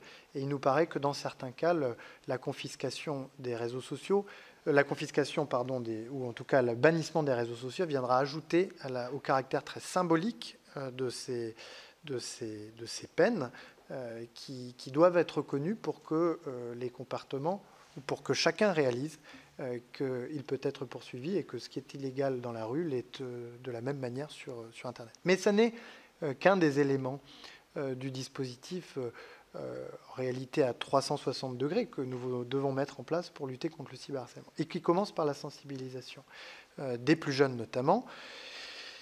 Et nous allons généraliser à la rentrée prochaine le passeport numérique, c'est-à-dire la sensibilisation de tous les élèves en sixième aux risques et aux attitudes à adopter lorsqu'ils sont témoins ou victimes de, cyberharcèlement. Et par ailleurs, euh, grâce à la loi d'orientation et de programmation du ministère de l'Intérieur, grâce à la loi de programmation, de la justice en cours de discussion ici au, Sénat, je, souhaite que des, moyens puissent venir renforcer les, capacités d'enquête et d'instruction de, de, ce type d'affaires.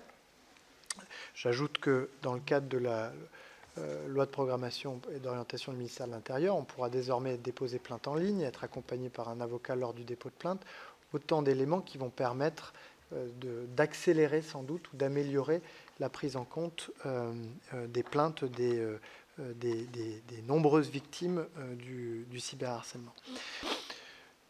Faudra-t-il aller plus loin? Peut-être. Et évidemment que nous, étudierons toutes les, propositions d'amendement euh, qui seront les vôtres avec la plus grande attention, tant ce, euh, phénomène euh, doit être contenu dans un premier temps, puis ensuite doit être éliminé. Oui, pardon, j'ajoute enfin que le règlement sur les services numériques va imposer aux plateformes un niveau de responsabilité particulièrement élevé et, par rapport aux droits existants en France hein, qui, qui impose aux, euh, aux plateformes, lorsqu'elles ont connaissance de faits de cyberharcèlement, euh, d'y euh, mettre fin, à condition aient, que ces faits de cyberharcèlement leur aient été signalés. Il y a deux choses nouvelles dans le règlement sur les services numériques. Donc, dès le 25 août, il y a deux choses nouvelles qui vont, intervenir. La première, c'est que les, plateformes devront aussi signaler. Donc, la plateforme reçoit un signalement elle va devoir traiter ce, signalement et mettre fin au, problème de, cyberharcèlement. Mais elle devra signaler ce phénomène aux autorités compétentes. Ça, c'est une première chose. Et deuxième chose, là où les peines encourues en cas de non-respect de cette obligation aujourd'hui dans le droit français, c'est un, an d'emprisonnement et 250 000 euros d'amende, on passe à 6% du chiffre d'affaires mondial au maximum de l'amende. Donc la, responsabilité, enfin la, peine encourue par la plateforme augmente de manière euh, très significative. Merci, Monsieur le Ministre. Je me tourne vers mes collègues. Y a-t-il encore d'autres euh, questions ou remarques? Moi, j'ai une toute dernière euh, question parce que je note dans l'exposé des motifs, Monsieur le Ministre, que vous avez souligné à juste titre que la présidence française de l'Union européenne a été à, la pointe de cette grande avancée en, 2022. Il faut bien dire aussi que le commissaire français Thierry Breton a été très actif euh, au niveau européen et que les choses ont enfin bougé avec plusieurs textes qui nous sont euh, proposés. Je lis aussi que le gouvernement entend continuer de porter de hautes ambitions dans ce domaine. Tant mieux. Euh, le Sénat est très attentif à, à cela de très longue date, vous le savez.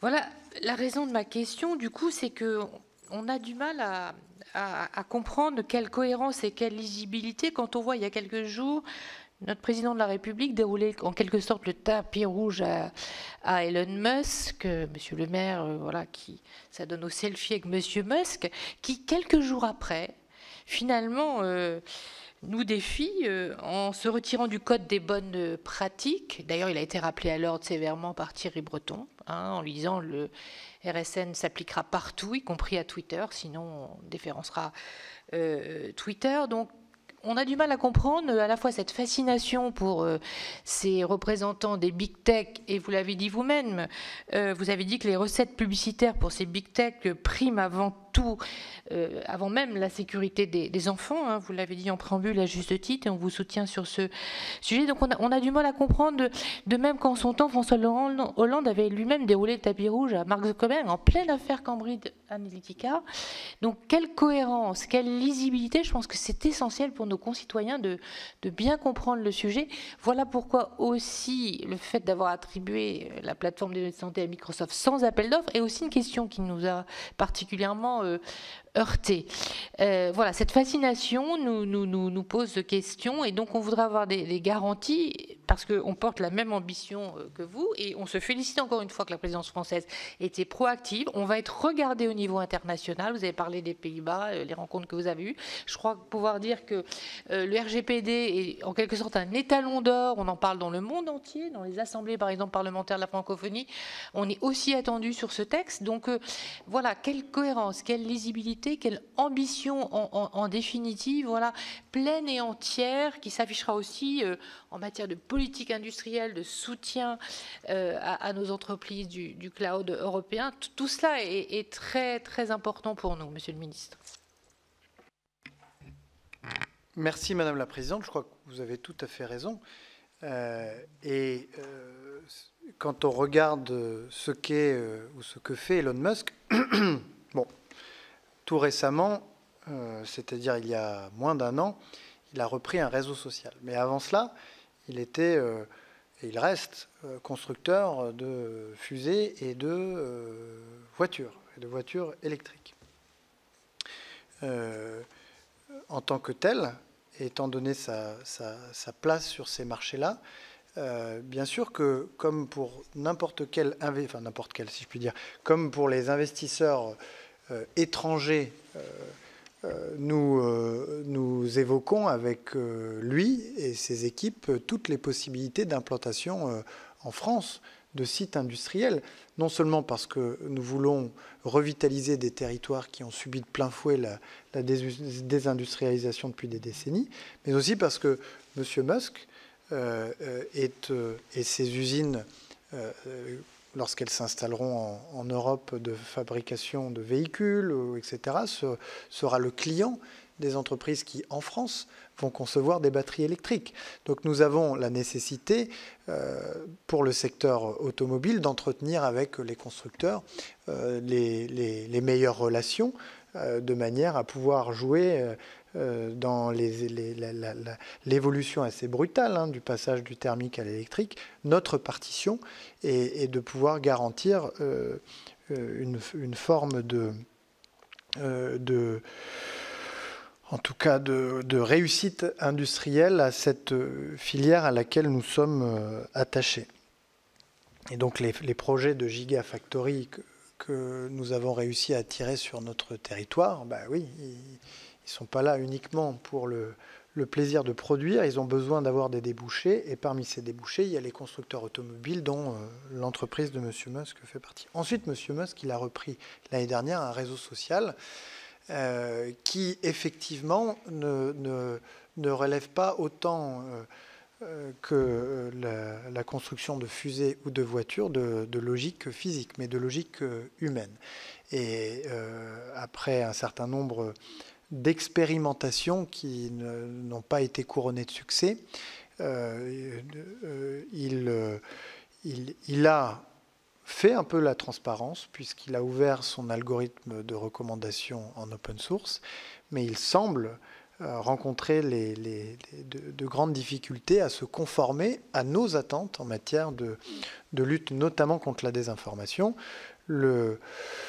L'annonce qui a été faite la semaine dernière du retrait de la signature de Twitter du code volontaire de lutte contre la désinformation n'est pas, je dirais, une sortie définitive de, ou en tout cas une, euh, un aveu de ce que euh, Twitter ne se conformera pas aux, obligations, puisque ce code est volontaire. Et on peut d'ailleurs très bien appliquer les mesures du code de, la de bonne pratique de lutte contre la désinformation, tout en euh, ne signant pas. On peut ne pas signer le code tout en appliquant les pratiques qui figurent dans ce code. Mais enfin, je suis, pour ma part, relativement inquiet. Je ne vois pas de signaux très encourageants sur la capacité de Twitter à se conformer à cette partie-là, en tout cas des obligations nouvelles qui lui sont faites par le règlement sur les services numériques, malgré les déclarations répétées qu'Elon Musk a pu faire euh, au président de la République, au ministre de l'économie et des finances et à moi-même.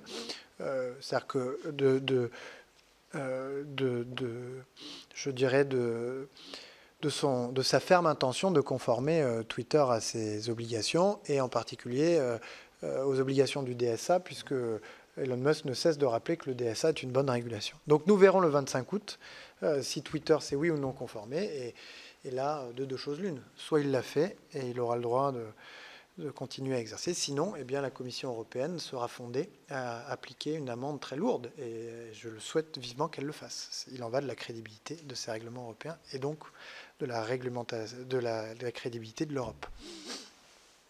Merci, Monsieur le ministre, pour ces propos rassurants. Nous avions vu votre déclaration également sur ce sujet. C'était l'occasion de, les, de pouvoir les exprimer. Comme nous n'avons plus de, questions, euh, je vais libérer mes, collègues et surtout vous libérer en vous remerciant euh, beaucoup euh, de nous avoir consacré ces deux heures qui ont été utiles. Bien entendu, il y aura encore des échanges, je pense, entre nous d'ici l'examen du texte. Certaines propositions du Sénat vont être donc, mis en débat au sein de notre commission pour pouvoir parfaire, parfaire le le sujet. Nous allons travailler bien sûr à un rythme soutenu d'ici début juillet. Juste avant de nous quitter, mes chers collègues, je voulais juste vous dire que nous nous retrouvons le mardi 13 juin à 9h en salle 245 et nous, nous auditionnerons les régulateurs ARCOM, ARCEP, CNIL, euh, et l'après-midi à 15h30 en salle 216, ça sera le pôle d'expertise de la régulation numérique, le jeune Pérenne, qui fait un très bon travail d'ailleurs. La commission TikTok a eu l'occasion d'un déplacement euh, sur place et donc nous avons déjà rencontré les responsables. Voilà, mes chers collègues, s'il n'y a pas de questions, de remarques particulières, je, je vous libère encore une fois, vous remercions les uns et les autres pour votre disponibilité et je note qu'il est 16h29. Nous terminons donc juste dans les temps impartis à cette audition.